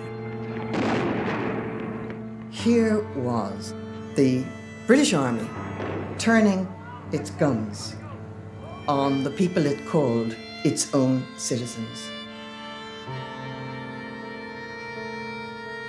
And the soldiers responsible for Bloody Sunday were the paratroopers. So there was a particular feeling of, of general dislike towards the paratroopers. This dislike was felt particularly strongly by the IRA volunteers locked up in the Maze prison at the time. And how would you characterise the reaction of you and your fellow prisoners to hearing about the Warrenpoint news? Exuberance, exhilaration. Uh, all our Christmases had come at once and come early.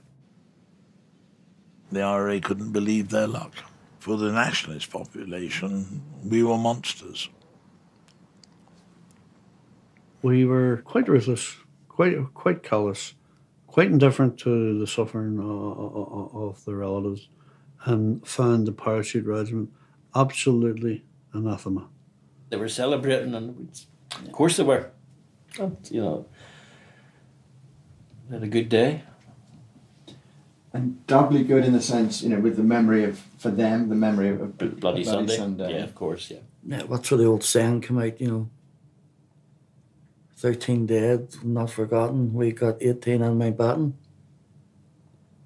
There's a quote for you. Very good.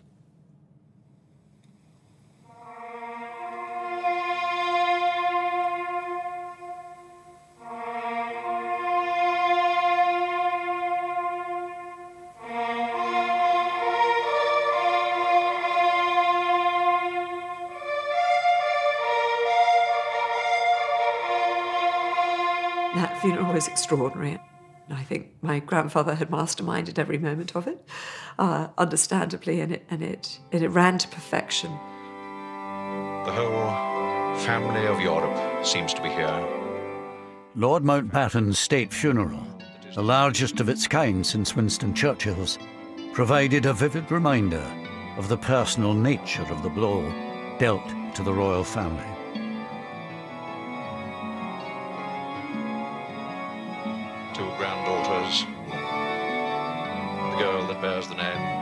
India, We know my grandfather's murder was a complete shock and very devastating to the Prince of Wales because he fulfilled a role, and that role was then taken away. So I think he probably felt that more than most, the loss, my grandfather's murder, and in such a brutal way. The murder horrified him and, in a way, marked him for life. It left a sort of sense of uncertainty. If Mountbatten, the, the invincible, the almighty, could be snuffed out like that, then what was left certain in life? Within a week of the funeral, 11 year old India found herself sent off to Gordonstoun, the boarding school in the north of Scotland. Here she was given a painful reminder of the very public nature of her grandfather's death. I remember feeling desperately lonely, going off to boarding school without my mother. And the first night, someone after lights out saying a joke. And maybe we can't even put this in because it's too too horrific. But she said, "How did they know Lord Mountbatten had dandruff?" And no one in the dorm at the nights out knew the answer. And the answer was, of course, because they found his head and shoulders on the beach. Um, it was a pretty staggering moment. Later that autumn, two IRA men were put on trial for the murder of Lord Mountbatten. One, Thomas McMahon, was convicted. Thomas McMahon, did you know him by reputation? Uh, I knew him both by reputation and uh, personally, and he was a very, very fine IRA volunteer. Very fine indeed. Yeah, they be the most outstanding figure to come out of South Armagh. Thomas McMahon was sentenced to life in prison. But no one higher up in the IRA leadership chain was ever held to account for the bomb. Somebody knew children get on that bomb. Not necessarily the guys who put the bomb on or the guys who made the bomb, but the people who planned it certainly knew about the children. And if they knew about the children and were quite prepared to go ahead uh, and to sacrifice their lives in order to get Mountbatten, then it's a war crime. Although Anthony McIntyre has since fallen out with the IRA, back in 1979 he was still very much an insider. Given the political sensitivity around Mountbatten and the fallout that the IRA leadership, the political thinking people in the IRA leadership would have anticipated, I would imagine that was a, a, a decision taken at the most senior levels. Kieran Conway, who temporarily left the IRA in 1976, is in no doubt as to who was in charge at the time of Mountbatten's assassination. I've absolutely no difficulty in saying that in 81 when I rejoined, and I wouldn't have said that in, in, until Martin died, uh, that McGuinness was chief of staff. And your clear understanding was that he had been since 78? Yeah. Ultimately, as chief of staff, it would be McGuinness's responsibility, that operation. Yeah, that's right, yeah. Oh, that's the way it works. I mean, if you're the boss, you're the boss. You take responsibility for whatever goes on.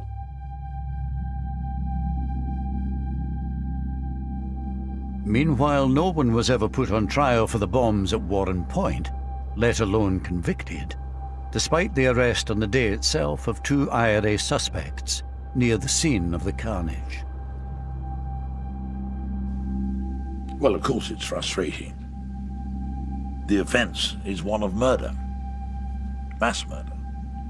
And um, it is a source of great regret that nobody was brought to account for it.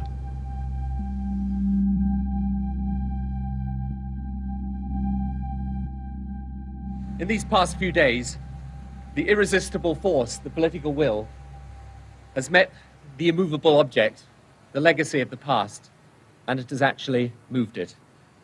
It took another 20 years after the Mountbatten and Warrenpoint killings, but peace was finally established in Northern Ireland by the British and Irish governments at the Good Friday Agreement in 1998. This agreement is good for the people of Ireland, North and South. As part of the peace process, the IRA's prisoners were released, including Thomas McMahon, the sole IRA member convicted of the killings.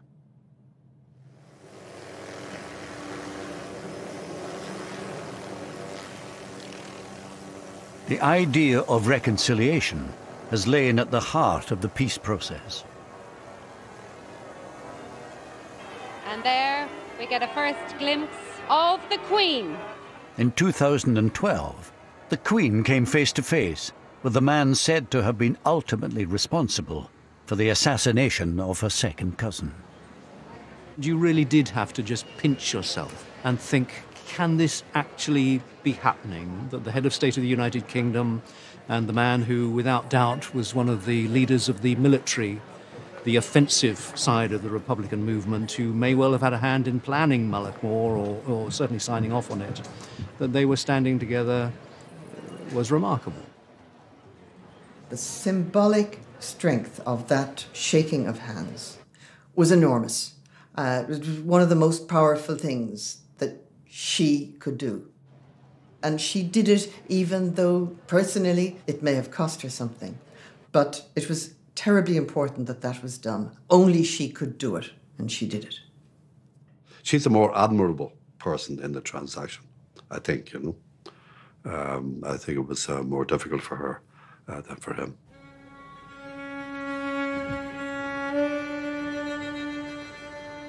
Like mother, like son. Three years later, the Prince of Wales made his own gesture of reconciliation. The events of 1979 had come as a double blow to him. He was Colonel in Chief of the Parachute Regiment, which had lost 16 of the 18 soldiers killed at Warrenpoint. And at Mullaghmore, he'd also lost the mentor who meant so much to him. At the time, I could not imagine how we would come to terms with the anguish of such a deep loss, since for me, Lord Mountbatten represented the grandfather I never had.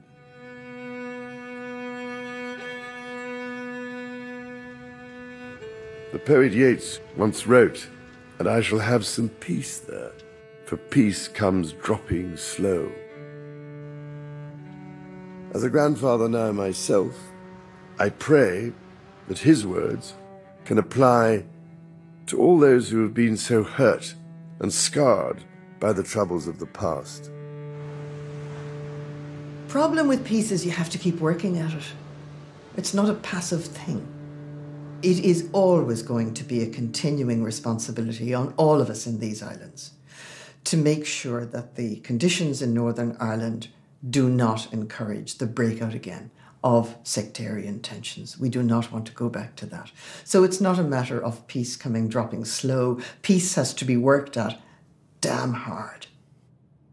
Two years ago, Martin McGuinness, the man widely believed to have been the IRA Chief of Staff at the time of the bombings, died. According to Buckingham Palace, the Queen sent a private letter of condolence to his widow.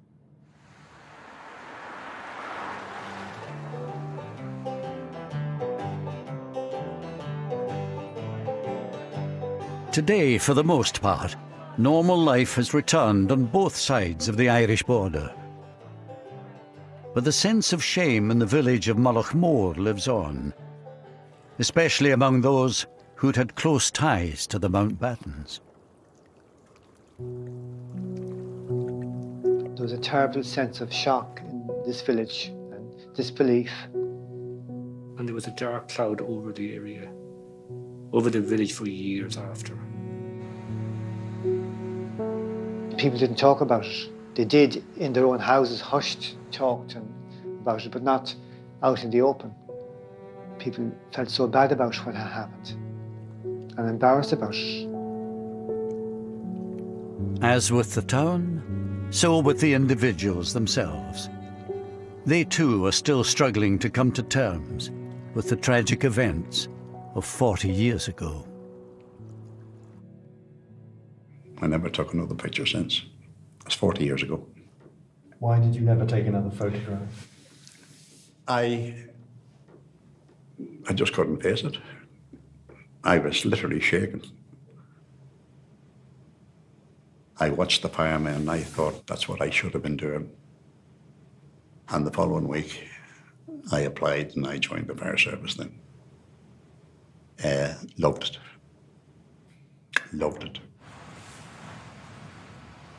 I see that young boy's face over and over, and it doesn't go away, and it doesn't get any more blurred as it did from 1979 to today because I can still see it. I'm okay with all that because I brought that kid home.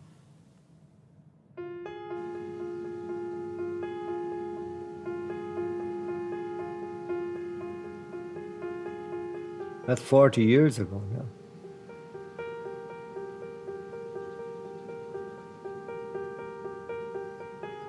It hasn't been one day, I'm sure, that it hasn't crossed my mind.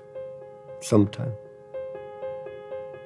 And that's a long time for something to stick in your mind. Didn't feel lucky at the time. Didn't feel lucky for 10 years after. I wanted to be with them. Why did I survive? It was like a day that would never end. And then went on to weeks that would never end and years where grieving would never end. And it hasn't. I will always grieve for Paul. I carry him in my heart everywhere I go. I asked my mother about doing this, and, and she said, yes, absolutely, it's important to keep talking. I think in trauma and in death and in survival, there is so much that is unsaid, and there is, unfortunately, um, no path. There's no written textbook of healing. And so, in amongst my seven cousins, who I am and remain close to, and my own siblings, everybody coped very differently. And some didn't cope well. And of course, we're seeing the side effects of that even to this day. And, and the damage that was done was so much deeper than any of us could ever have imagined. And adult lives are still being horrifically disrupted. I certainly try not to hold resentment in any way, and that's hard. But, but forgiveness, I think, is important. One has to move on.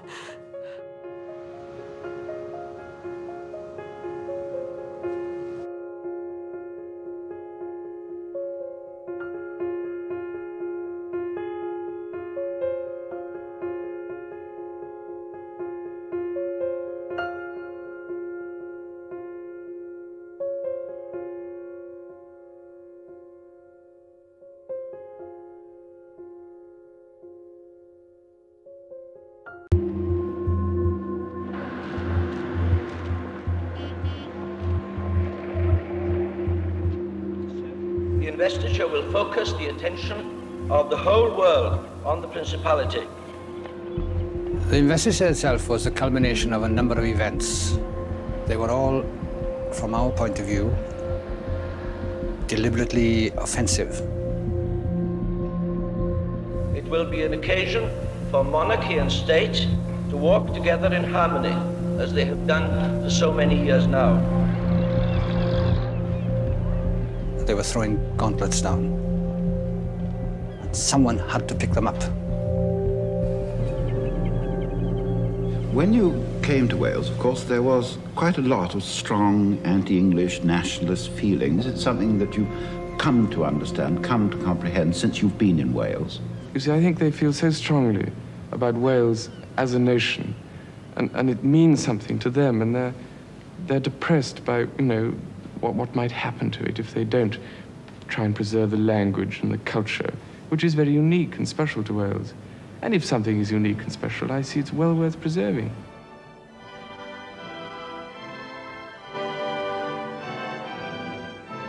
Well, it's now just 10 minutes to midnight, time on BBC One for us to wish you a very good night.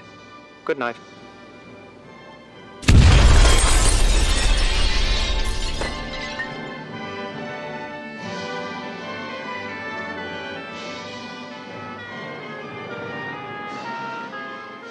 Yn ystod y nos neithiwr, fe ddigwyddodd yr hyn roedden ni i gyd wedi bod yn ei ofni ers misoedd.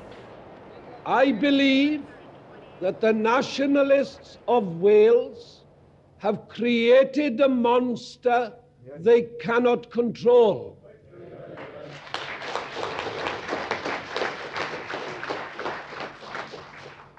They have created an atmosphere in which violence of this sort is seen as the logical end of their philosophy.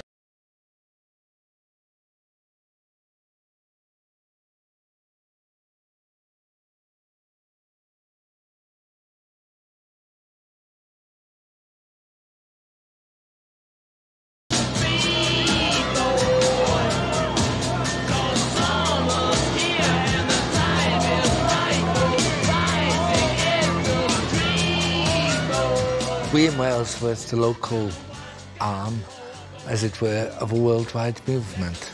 A worldwide movement, a protest against the, the old established orders of the imperial order, which had led to two world wars and so on. Young people saying that they wanted a better future for their countries. We want a new order which puts people and their cultures first.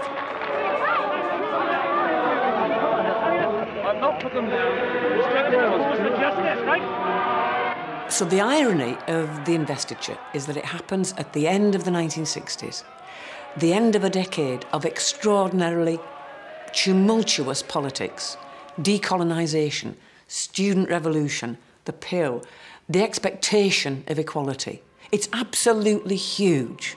Everybody has changed, and this family wasn't. In their island, what they do is reinstate this antique ceremony purporting to be about 600 years old, except they've made it up.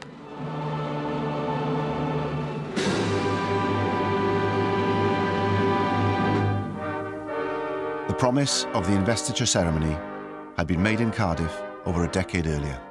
The British Empire and Commonwealth Games in the capital have made this a memorable year for the Principality.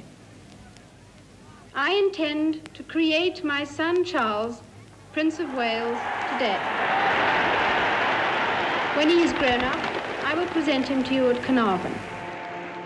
I remember sitting in the, in the headmaster's study at uh, Cheam, and uh, we were all watching the television, and there were several other boys there, know, little ones. I remember being acutely embarrassed when, when it was announced, you know, and I had this marvelous great cheer coming from the stadium in Cardiff. And uh, I think for a little boy of nine, it was rather bewildering.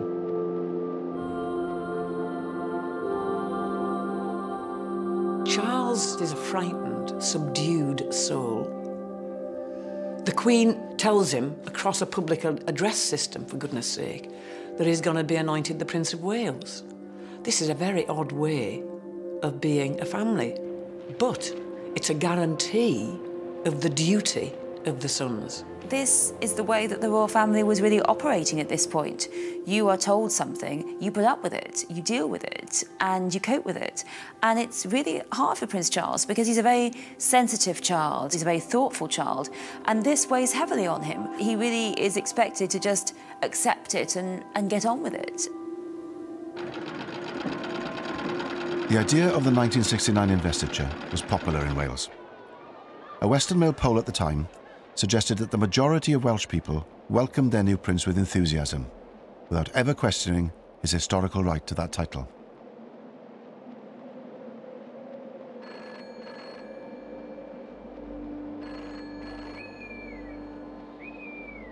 Wales has always been regarded as something of a poodle.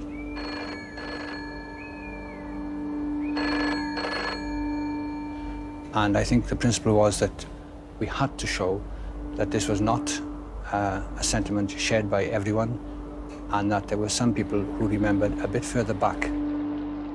One of those who questioned the legitimacy of this unfolding ceremonial was a man who had pledged his life to serve Queen and country.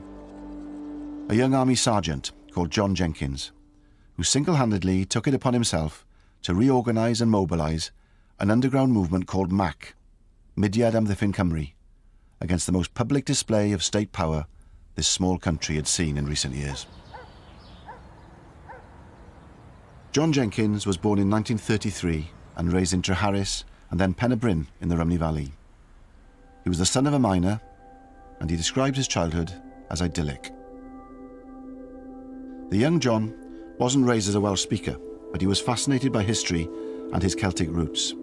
In particular, he was captivated by Capel Gwladys, an ancient site on Gelli Common, close to his home in Pen y Bryn. It's a place he would return to many times in his life. He played drums in the local kazoo band, and his love of the drums and the outdoors would take him into the army.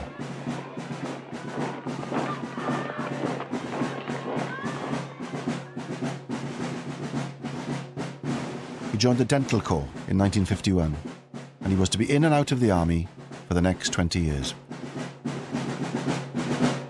Cyprus. In keeping with British anxiety that the frequent riots may lead to bloodshed, our troops have exchanged their arms for riot sticks and shields. By the summer of 1958, John Jenkins is posted to Cyprus. What going on in Cyprus at that time is the EOKA campaign, which is against um, British rule on the island. After four years of an insurgency in which police bases and military bases are targeted, Cyprus is, is handed back its independence, and John realizes that this has been achieved with only a, a handful, a comparatively small number of men.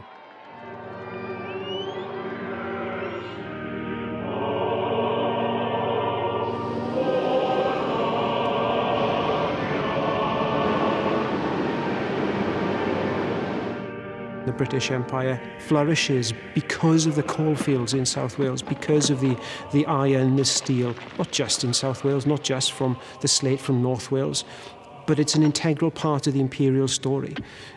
But by the 60s, that empire is, is dead, essentially. The empire is crumbling. Those opportunities that were there in the empire are no longer there.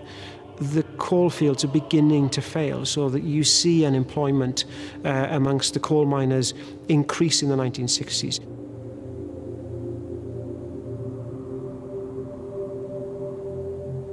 With Welsh industry in slow decline, water was perhaps the only natural resource that Wales had left in abundance. Dams had been built and valleys drowned since Victorian times. But it was the proposal by Liverpool Corporation to create yet another reservoir at Capel Celyn that was to bring the Welsh nationalist spirit to life. For many in Wales, the drowning of the village of Capel Celyn in the Tryweryn Valley was the defining political event of their generation. Despite protests on the streets of Liverpool, numerous petitions, and a vote by every Welsh MP against the proposed scheme, the drowning of the valley went ahead. John Jenkins' political flowering really begins with witnessing what is happening with the flooding of Tryweryn. I mean, he's in Germany at the time.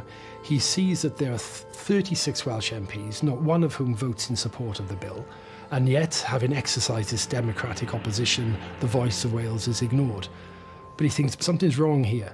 When a nation such as Wales can be hit over the head so badly, then where do we go from here? Where does that leave us?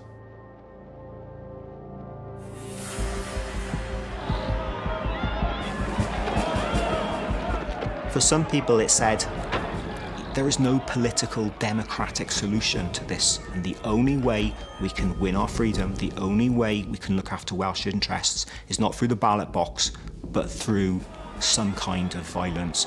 And Tryweryn does see the emergence of violence as a political tool um, within Wales. The following year, on his return to Wales, John Jenkins was to bear witness to one of the most horrific man-made disasters of the industrial age, in a town that was close to his heart. BBC One continues now earlier than published with 24 hours.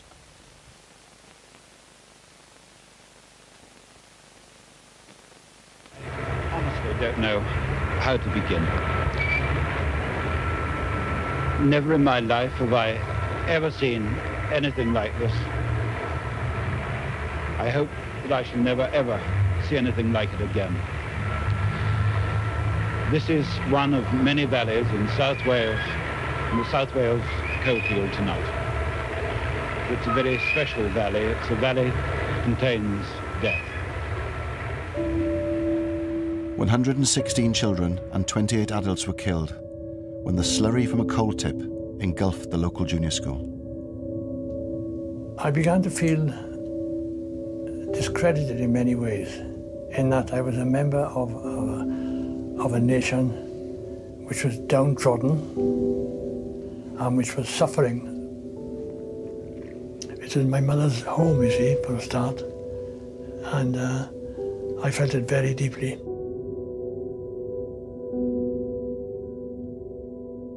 It was a combination of various factors which did include Tryweryn and did include Aberfan.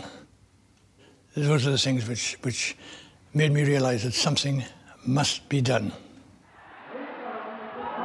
That summer had seen a significant victory for the nationalist movement in Wales, with Plaid Cymru, the Welsh Nationalist Party, winning its first parliamentary by-election in Carmarthen in July 1966, making Gwynfor Evans the first ever Welsh nationalist MP at Westminster.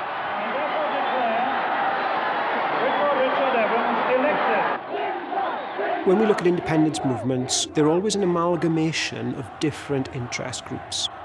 A campaign for national independence or national self-determination that is successful is a campaign that is able to bring together all sorts of different perspectives. We see that to an extent in Wales in the 1960s. The success of Plaid Cymru, for example, demonstrates that increasingly more and more people are willing to detach themselves from the two major political parties in Wales.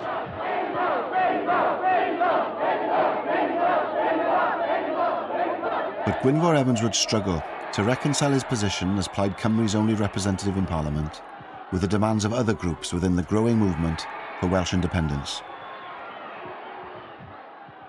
Cymdeithas yr Iaith was founded in 1962 to try and get official status for the Welsh language, to get road signs in Welsh, um, official forms in Welsh, was part of the awakening of realising that our language was not something which was dying out, but was part of a, a living, new, young enthusiasm for Wales, a, a young revolution in, in Wales. You have Cymdeithas yr Iaith that are, that are committed to direct action, but Cymdeithas yr Iaith are also an organisation which is committed to pacifist means. And then you have groups like MAC and the FWA who are committed to a more violent campaign of disobedience, of disruption, of terrorism, if one likes. At Machynlleth, the young people met to express through a protest march their dissatisfaction with the situation in Wales. These rallies drew together a variety of organisations, the Free Wales Army, the Young Patriots League, the Patriotic Front, the Anti-SICE League, and it's open to question how far these various groups enjoyed shared objectives and shared membership.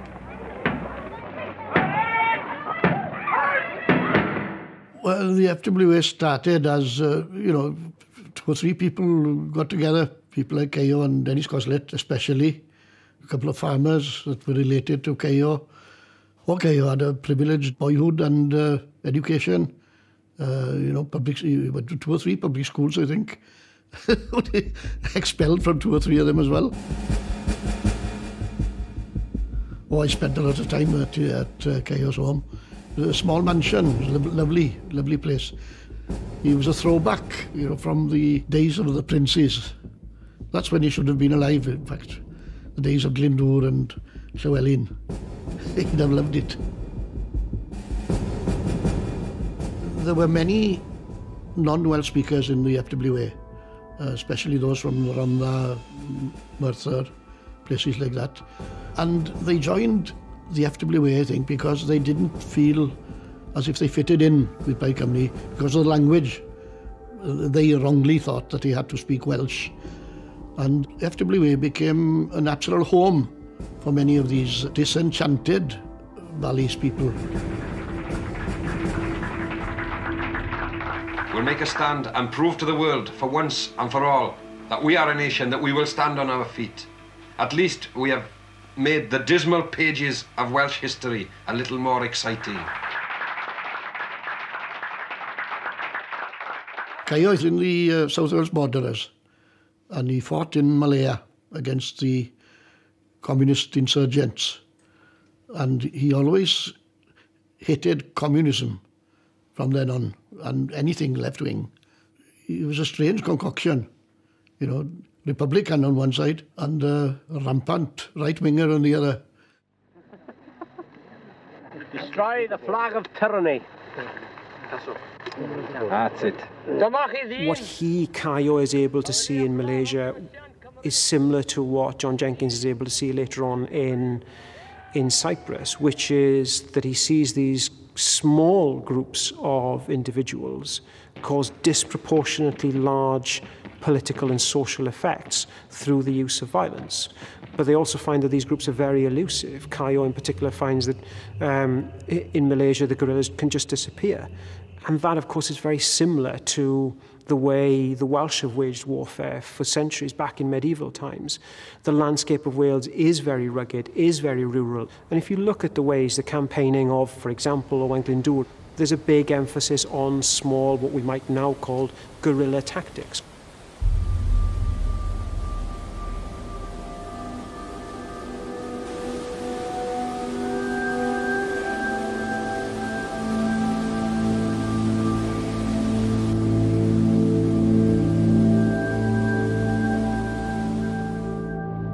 Clywedog Dam, a huge construction which was being built near Llanidloes, was to become the target of the more extreme Welsh nationalists. In 1966, it was nearing its completion when the police received a warning that a bomb had been planted on the site.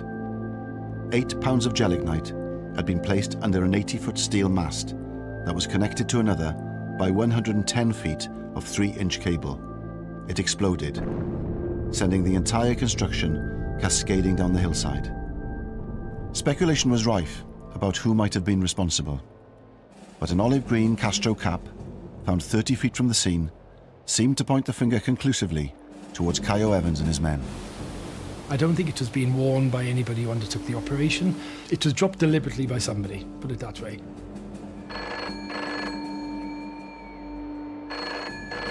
Two hundred people were questioned throughout Wales, one of whom was Gwynfor Evans. So in the dark are they, I think, as to who might be responsible, whatever their suspicions.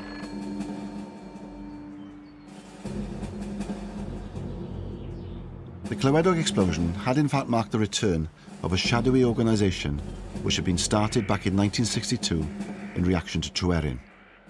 This was MAC, Mudiad Amddiffyn Cymru, the Movement for the Defence of Wales. Most members of then MAC were well known by everyone, including the authorities.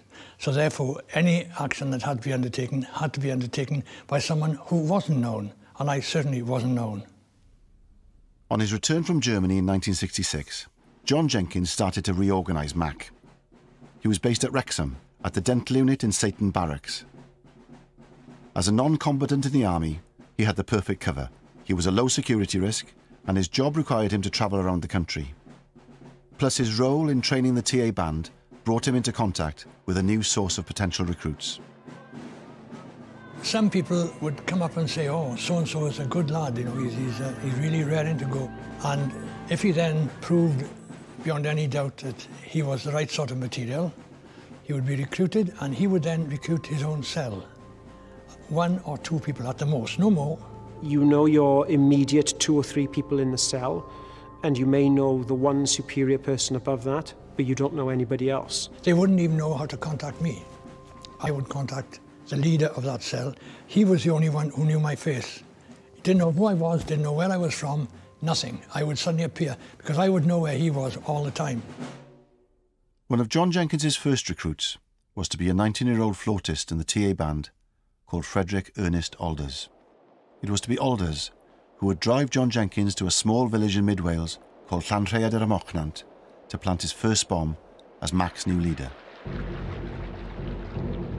Most of the villagers who heard the loud explosion thought it was thunder. The explosion caused this gash, about seven feet across. Every pipe carries 12 million gallons of water a day to Liverpool.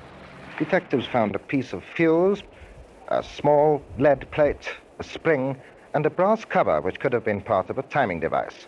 They did not find, as reported in some newspapers, any Free Wales Army caps there at all. While the Mac bombers were creating havoc for the authorities, the Labour Party was waking up to the threat of mainstream nationalist politics. The rapturous, adoring supporters of the first Welsh nationalist ever elected to Westminster. Is Gwynfor Evans's triumph merely a quirk of history, or is he the standard bearer of a new Welsh rebellion? The Labour Party in Wales, yes, they were surprised, but it wasn't something that overshook them because in the Welsh heartland, in West Wales, containable. But then a year later, when Rhondda West almost went to Plaid, you know, that was really serious business because now Plaid Cymru had come to the door, to the front door of the Welsh Labour heartland. Somehow, whoever it was, they must have thought back, they must have known their Welsh history, how the investiture of 1911 that Lloyd George himself thought of, how popular that appeared and came across Wales, someone must have thought, hey, this is what we need to do. For the Labour Party, reviving the investiture ceremony now seemed like a timely political move. There was an understanding, I think, on the part of Labour MPs that the royal family was a lot more popular than one might appreciate if one just listened to the nationalist narrative, and that by holding such a, an ostentatious uh, demonstration of royal power uh, and of unionist power in the capital of Welsh nationalism, they would be cocking a snook at any kind of move towards a more nationalistic Wales. When the Labour government announced that the investiture was to take place at Carnarvon on the 1st of July 1969, it provided a new focus for the nationalists in Wales. Ond dwi wedi syni fwy bod cenedlaetholwyr wedi gallu croesawu a breichiau agored, berson sy'n symbol o'n hiniad a Lloegr. Cymdeithas yr Iaith prepared themselves for a new wave of protest, and with the first meeting to discuss the investiture arrangements to take place in Cardiff in November, all eyes were on the capital city. The Free Wales Army, of course, took up the cause, and in their own unique style were using every opportunity to draw attention to themselves. With Dennis Coslett, Caio's loyal lieutenant, getting interviewed on national television by David Frost. Tell me a little about the Free Wales Army. What does it stand for? Well, we are a militant group. We are not pacifists. Uh, we are neither conscious. We are prepared to fight for our freedom. Fight for your freedom uh, yes. against whom? From, from the imperialist government. The, the, the Free Wales Army did have its role to play within the militant arena. They were visual, they were vocal, and they did succeed in, in diverting resources and attention from the real bombers. What sort of things have you done so far? Oh, we've caused a lot of uh, damage to your pipelines. How have you done that? How have we done it? Mm. Well, we've just put plastic on your on the establishment's pipelines and blasted away. The the FWA did Mac uh, a great favour. They took all the publicity while Mac uh, could act uh, surreptitiously. Nobody knew who they were, where they were from, where they'd strike next. On November the 17th, 1967, the Investitures Organising Committee was to meet at the Temple of Peace in Cardiff. John Jenkins, as Mac's new leader, was acutely aware of the opportunity this presented. John decides that every time a member of the royal family or those involved in the organisation of the ceremony steps into Wales, there will be an explosion. In the early hours of the morning, on the day of the investiture meeting, a 15 pound bomb exploded in the Temple of Peace.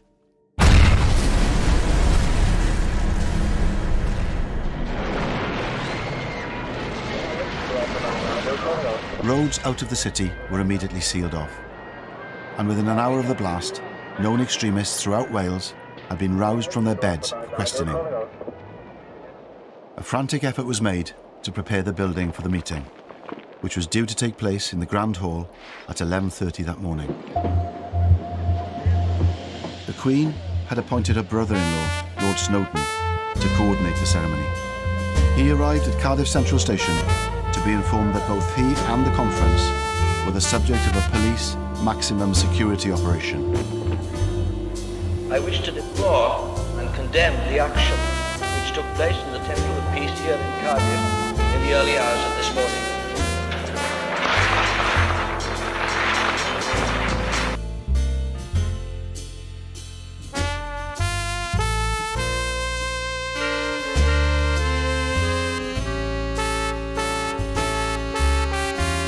The most explosive of years across the globe sees the start of two years of explosions in Wales.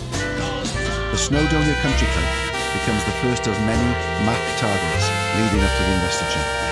The bomb went off in this letterbox fixed to the wall at 20 to 2 this morning.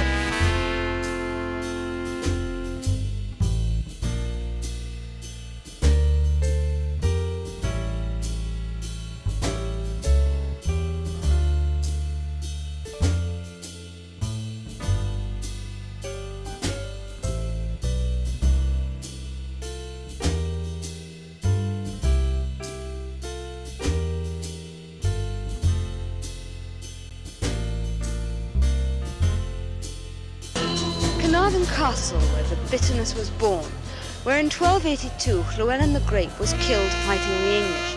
And it's in this shrine of Welsh nationalism Charles Windsor becomes the 20th Prince of Wales, a castle preparing yet again for a siege.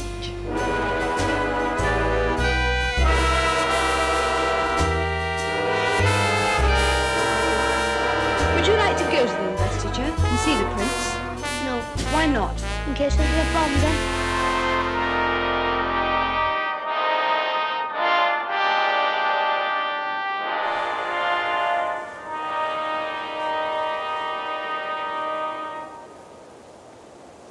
I believe that the nationalists of Wales have created a monster they cannot control.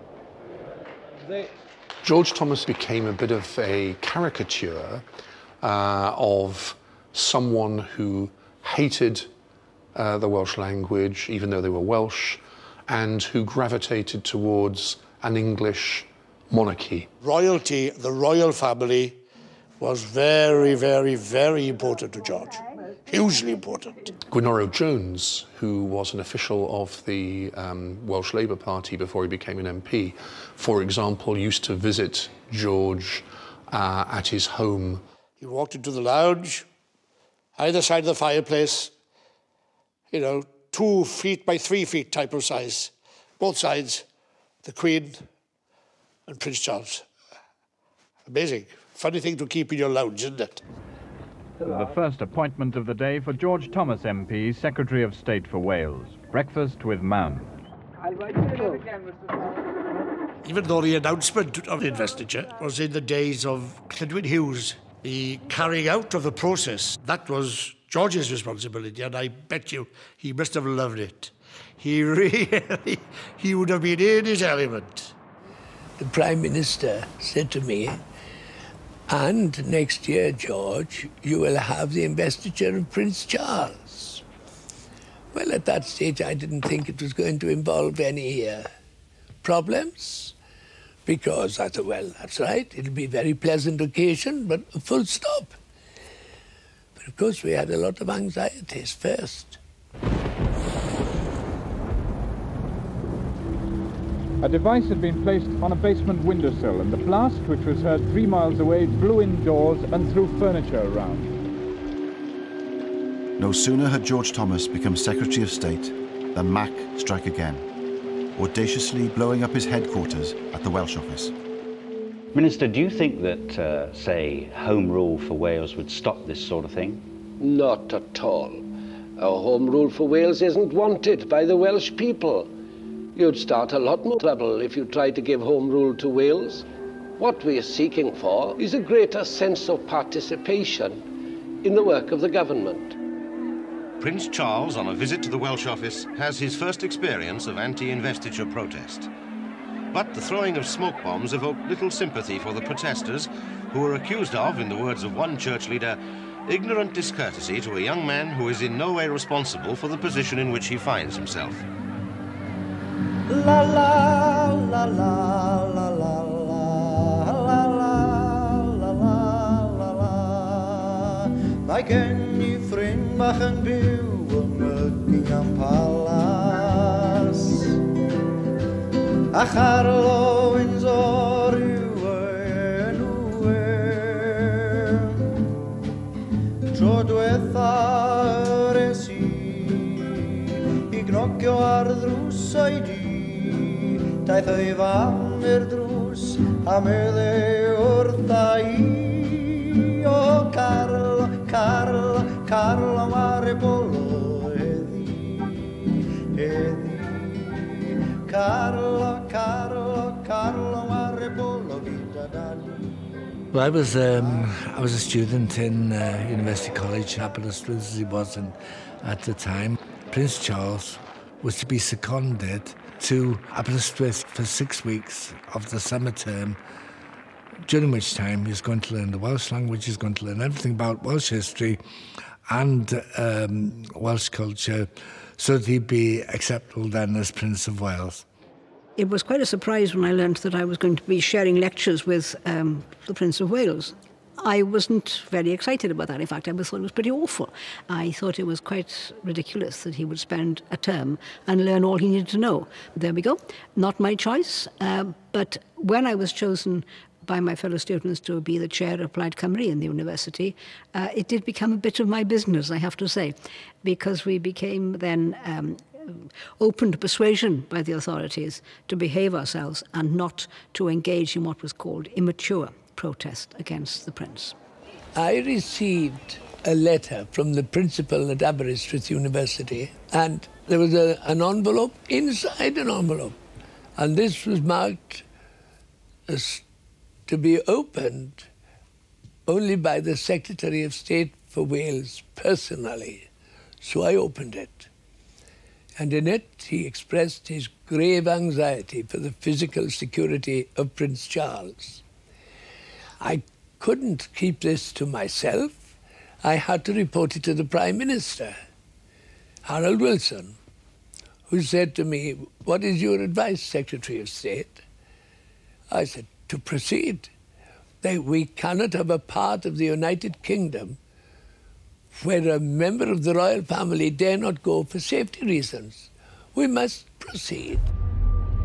The secret police was there at work in the college in Aberystwyth at the time. They had two functions. One was a legitimate function to ensure the personal safety of someone who was the heir to the British throne, but they were also there to ensure that the British state was not politically embarrassed.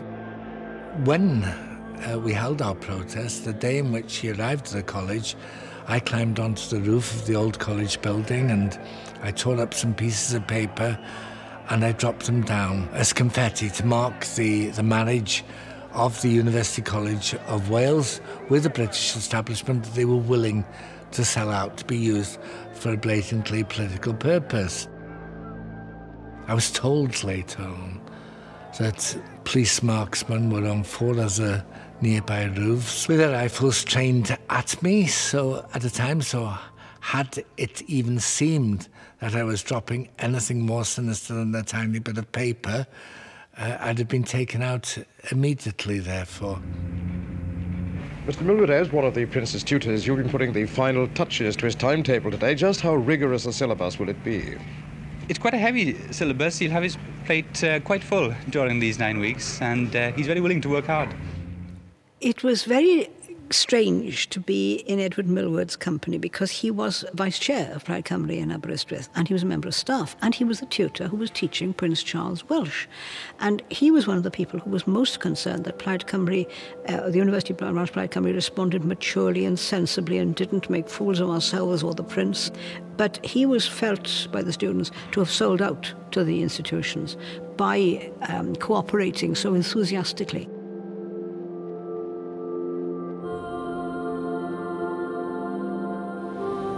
There have been stories that you've had rather a, a lonely time at the University of Wales, at Aberystwyth. Is this so? Well, yes, I, I, wonder where these reports come from, but I suppose they circulate. Um, I, you see, the trouble is that one has to remember that I'm in a slightly different position from several other people. And I think they try and put themselves in my position too much. I think out of certain necessity, I've uh, perhaps been more lonely, if they like it. I mean, I, I haven't made a lot of friends, if, if that's what they mean, and uh, I haven't been to a lot of parties or anything. There haven't been very many. And I've had a lot of other things to do. I've, I mean, I've been around Wales a lot and looked at things and visited people. And essentially it is, I suppose, compared with other people's lives, more lonely. And in this sense, I suppose I've had a lonely time. He would arrive to the back door of the college in his sports car. Uh, he would be accompanied by several policemen, uh, and two of them would guard his car. Uh, and then he would go in for the university lecture halls. Students would be there already. He would come in, he would sit in the front of the lecture hall, and there would be two policemen outside the door to ensure his safety.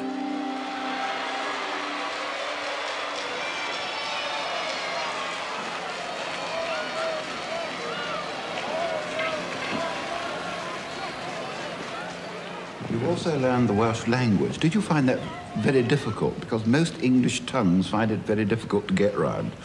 Well, it, I think all languages are difficult, but I suppose there are certain things. I mean, the double L's are, are terrible. Well, they were fairly difficult, except that I went to Llanelli not long ago, and the mayor said, Can you say Llanelli? So I said Llanelli, and he wiped the saliva out of his eye and said, Well done. But it's, you know, the, the, the there is a way of doing it. You, know, you put your tongue in a certain place and blow. The speaking Welsh, like, you know, is um, uh, it's a, it's a trick and it's worked because he's done a very short course in a language laboratory which has taught him how to pronounce words, and he, he's always read, he reads it off the paper.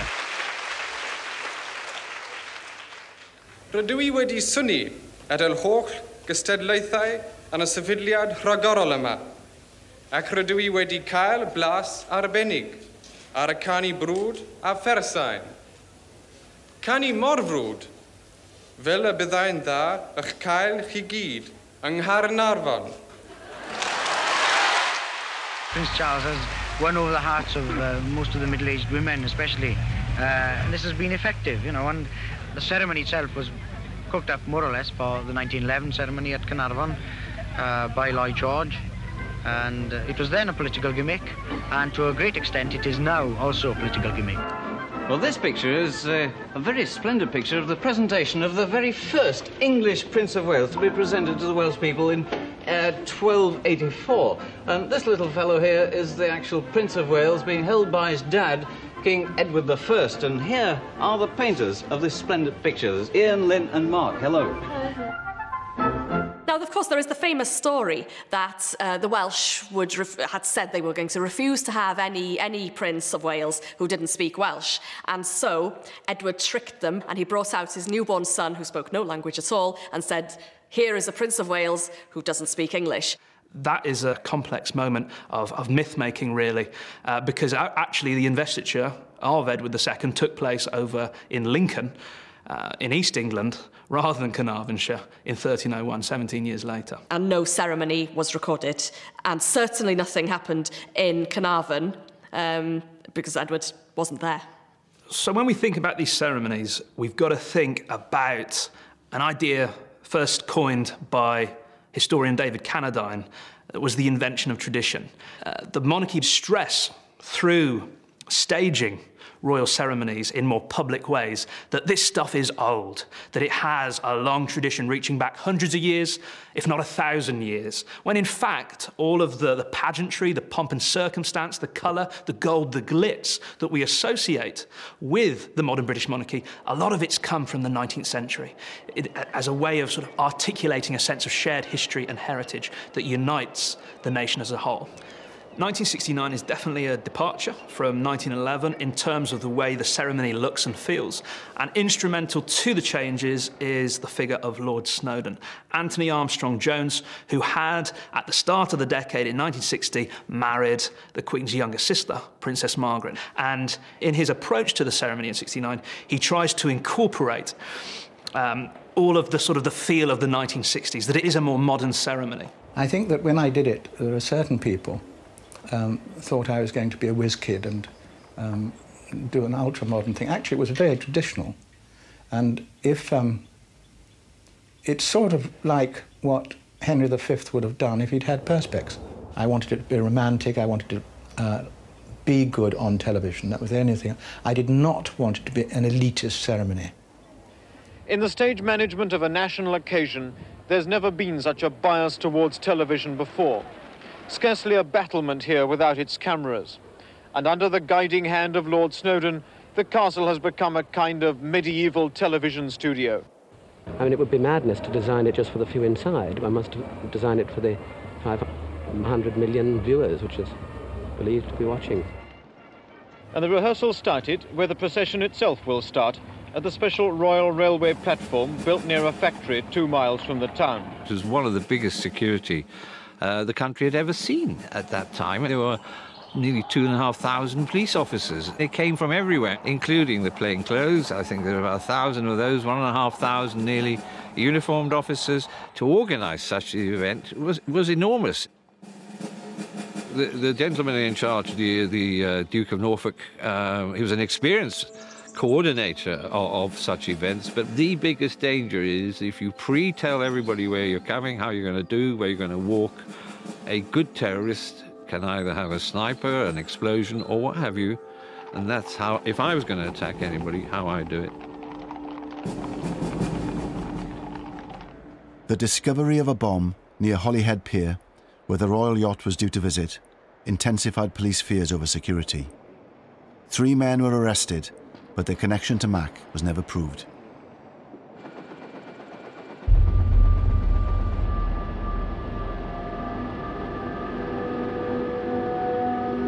Hello and good evening from Carnarvon on the eve of the investiture. A town which seems about to explode as the sightseers pour into the streets to... John Jenkins, meanwhile, was hiding in plain sight, right under the noses of the security forces.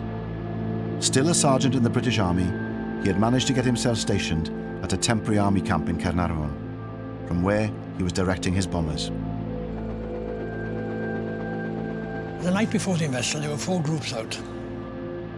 The object of the exercise was to disrupt the ceremony and to cause as much uproar as possible. One was a, a, bomb placed somewhere near the where the, where the um, royal family coach would be coming down. Not near enough to cause any damage, but near enough to cause uproar. Another was placed in the Chief Constable's garden, and that was timed to create a 22 gun salute rather than a 21 gun salute. And another one was to blow up a pier at which the Royal Yacht was due to harbour, which meant it wouldn't be able to harbour because there was no pier there. The fourth device was to be set in Abergele, 35 miles up the coast from Carnarvon, by two MAC operatives, Alwyn Jones and George Taylor. John has insisted that he instructed the cell leader, Alwyn Jones, to target a government installation in the town, a social security office, because Abergele is en route to Carnarvon, and John is, is aware that the Royal Train will be passing through Abergele on its way to Carnarvon. I know people like to say, oh, the Royal Train, because it makes good copy. It was not true. We did not target the Royal Train. There was no intention to hurt or kill anybody. There never was. There was a hole in the, in the ground, uh, not a very deep hole, and there was a pair of shoes uh, alongside the hole where the person had been blown up out of his shoes. Uh, it was dark there and you could not identify anything that you found. Um, I think the, uh, it, we had to wait until daylight really to find the extent of it, but we knew that there were two persons. On the day the world's media focused on the investiture, two of John Jenkins's operatives were found to have blown themselves up with a bomb Jenkins himself had made.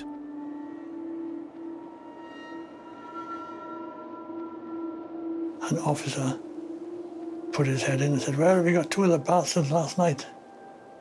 I went down to the Sands Mess to find out what was happening, and all they had on was bloody cricket or tennis or something.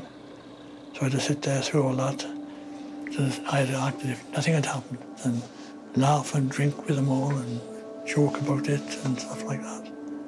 And it was several hours later I discovered which group it was.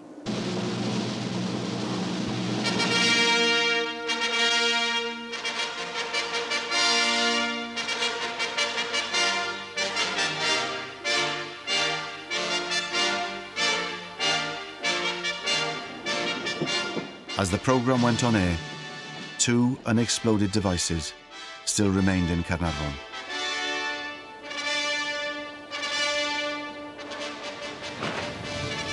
There's the Prince of Wales. He's got out of the train now and into his carriage, wearing the uniform of the Colonel-in-Chief of the Royal Welsh Regiment. With him is the Secretary of State for Wales. We would be untrue to history if we did not say everyone, including the royal party, everyone held their breath until the thing was over.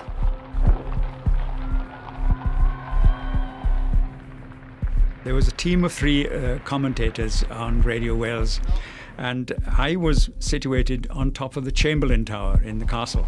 Now he moves off into town. We shall pick him up in just a few minutes when he's entering the outskirts of Carnarvon itself.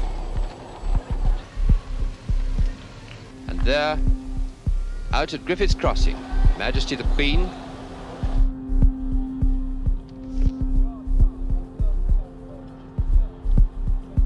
When the Queen arrived in Griffith's Crossing and came off the train, there was to be a 21 gun salute.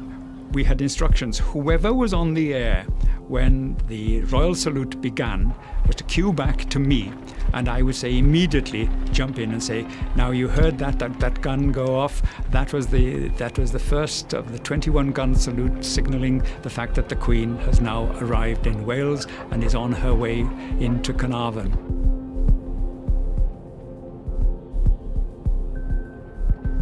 and we got into our commentary scene setting uh, myself in the castle, John down behind the dais, Glyn out in the Maes where there were thousands of people.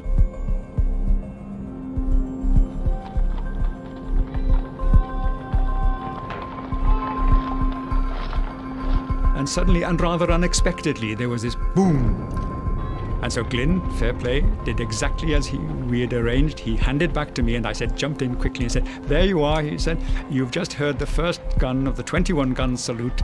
Now we'll listen to the other 20 uh, guns. Absolute silence. Nothing. It was quite clearly a bomb. But Prince Charles just looked at me and said, What was that, Mr. Thomas? So I said, Royal salute, Prince Charles. And he looked at me with a question mark in his eyes and he said, Peculiar royal salute. and I know North Wales will forgive me because I said, Peculiar people up here, sir. I had to say something to cover up. And we both laughed. I said, ah, well, evidently that wasn't the first gun of the 21 gun salute. And then I looked over my shoulder and I just saw a plume of smoke on the, on the hill behind the, the other side of the, the harbour and some people running around. And in fact, it had been uh, a bomb, maybe a diversionary bomb, but it was a bomb. Now, what we're looking at now is um, an incident of some kind. Somebody's I heard an explosion just a little moment ago. We thought that one of the guns had gone off accidentally. There could just possibly have been an explosion. The bomb, planted by Mac in the Chief Constable's garden on Love Lane, had detonated as planned, throwing the traditional 21-gun salute into disarray.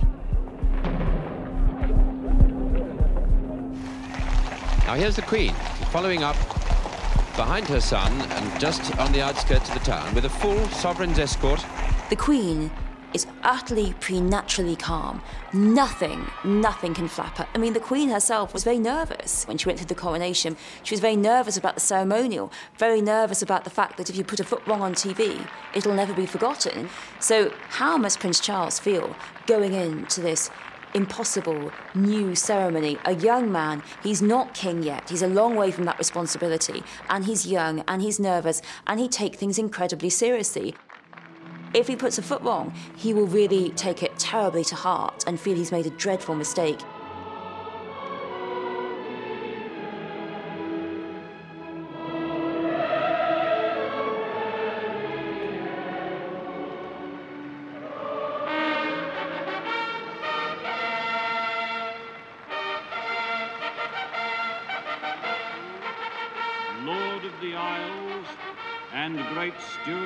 Scotland, Prince of Wales and Earl of Chester, and to the same our most dear son, Charles Philip Arthur George, and...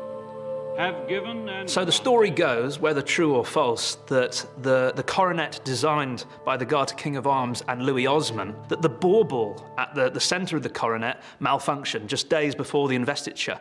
And so rather than fuse the original bauble back at the centre of the coronet, what instead they had was a, was a ping pong ball wrapped in gold leaf, uh, which made it there on the day. The symbol of sovereignty.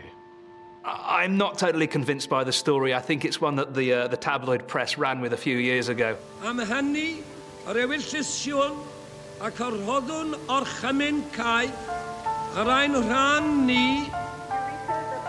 Fe ysbrydolwyd pob un o'r bobl hyn, mewn rhyw ffordd neu gilydd, gan y treftadaeth hon.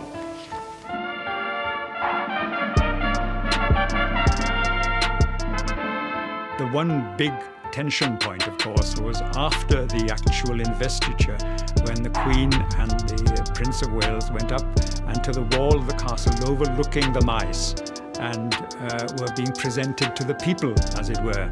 But once they appeared on the balcony, everybody was holding their breath.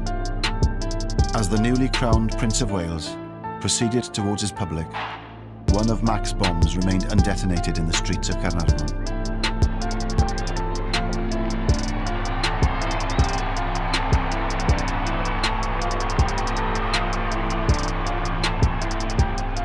We can only guess at what her feelings were in that moment when she presents her boy to the people. And they're there in this kind of raw, exposed, beautiful, but very vulnerable space. And she's giving him to risk, exposure, danger. There is no mistaking spontaneous applause, and this is the real thing.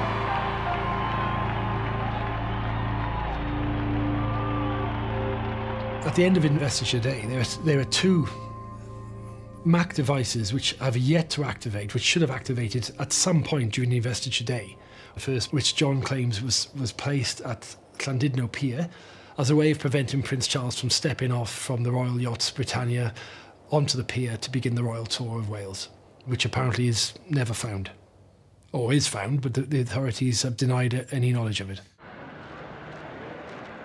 But the other device in Carnarvon is then activates on the 5th of July, five days after the investiture, when 10 year old Ian Cox, who's on holiday from England, goes to retrieve his ball. It's gone, it's gone behind a wall, kicks out at what he thinks is an old lampstand. It activates and he, he suffers severe burns and his right leg is amputated.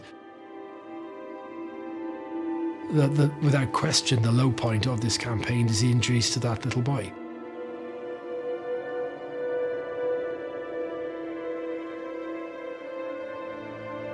The perfectly understandable response is that such injuries to a 10 year old boy can never be justified, whatever the political cause. Whenever anything failed to detonate, a call was always made to the police to tell them about it and where it is. And this was done. But they didn't take any notice of it, apparently. So I made a point of asking, when I was captured eventually, uh, why didn't, didn't you take any notice of the call about the, the, bomb? And they said, because it was one of thousands we had on that day, and we couldn't possibly investigate all of them. Such a campaign of, of sort of indiscriminate time devices, um, deaths and injuries are perhaps inevitable one way or another. Explosions on remote pipelines in the Welsh mountains is one thing, blood on the streets is quite another. This is as, as bad as it gets. I think looking back, Charles was the experiment. He was the guinea pig, if you like, in the royal family media project, in the whole let's get the TV cameras in and show ourselves off. Now, partly that's a pact with the devil. They have to do it because that's the commandment, really, of modernity. But it puts them at huge risk. He can't go back to being a private royal, a private student, ever again. I think John gets a sense that the police are onto him, and so he returns home and finds himself back at Capel Gwladys, which has always been a place of sanctuary for him. John said if the pressure was bad leading up to the investiture, after it, it, it was just almost to the probably unbearable actually. Having lost two colleagues in Mac owing to a bomb which he had assembled, which he had handed to the cell leader Alwyn Jones. But if that wasn't bad enough, then he has the, the injuries to Ian Cox five days later. However successful his campaign of disruption had been, these failures were weighing heavily on him. I think he was just relieved, is the impression I get. He, he said it, it almost came as a relief when I heard that knock on the door.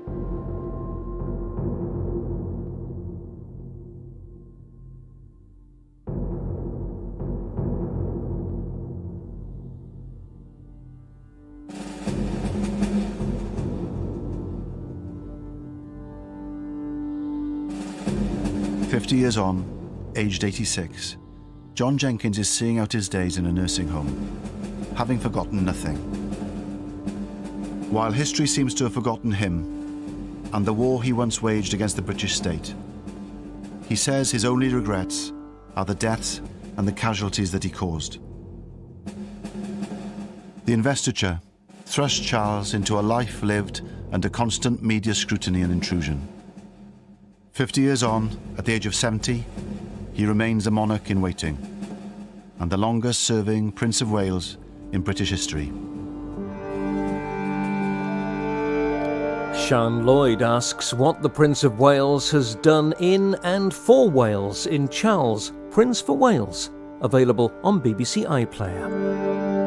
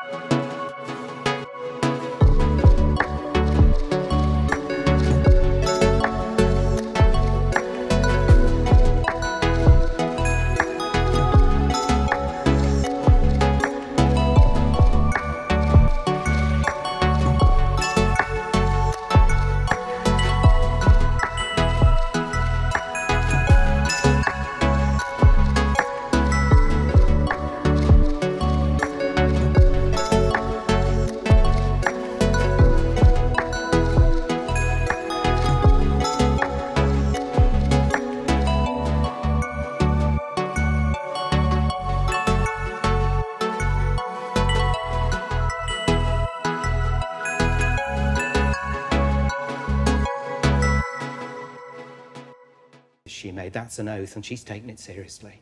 Well, thank you once again for inviting us in. Thank you.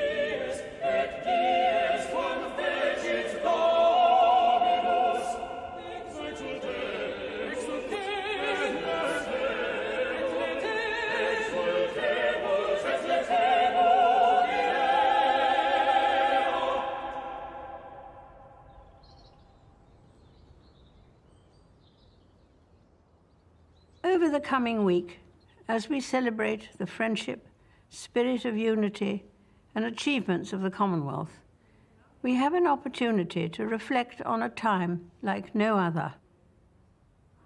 Whilst experiences of the last year have been different across the Commonwealth, stirring examples of courage, commitment, and selfless dedication to duty have been demonstrated in every Commonwealth nation and territory notably by those working on the front line who have been delivering health care and other public services in their communities. We have also taken encouragement from remarkable advances in developing new vaccines and treatments. The testing times experienced by so many have led to a deeper appreciation of the mutual support and spiritual sustenance we enjoy by being connected to others the need to maintain greater physical distance or to live and work largely in isolation has, for many people,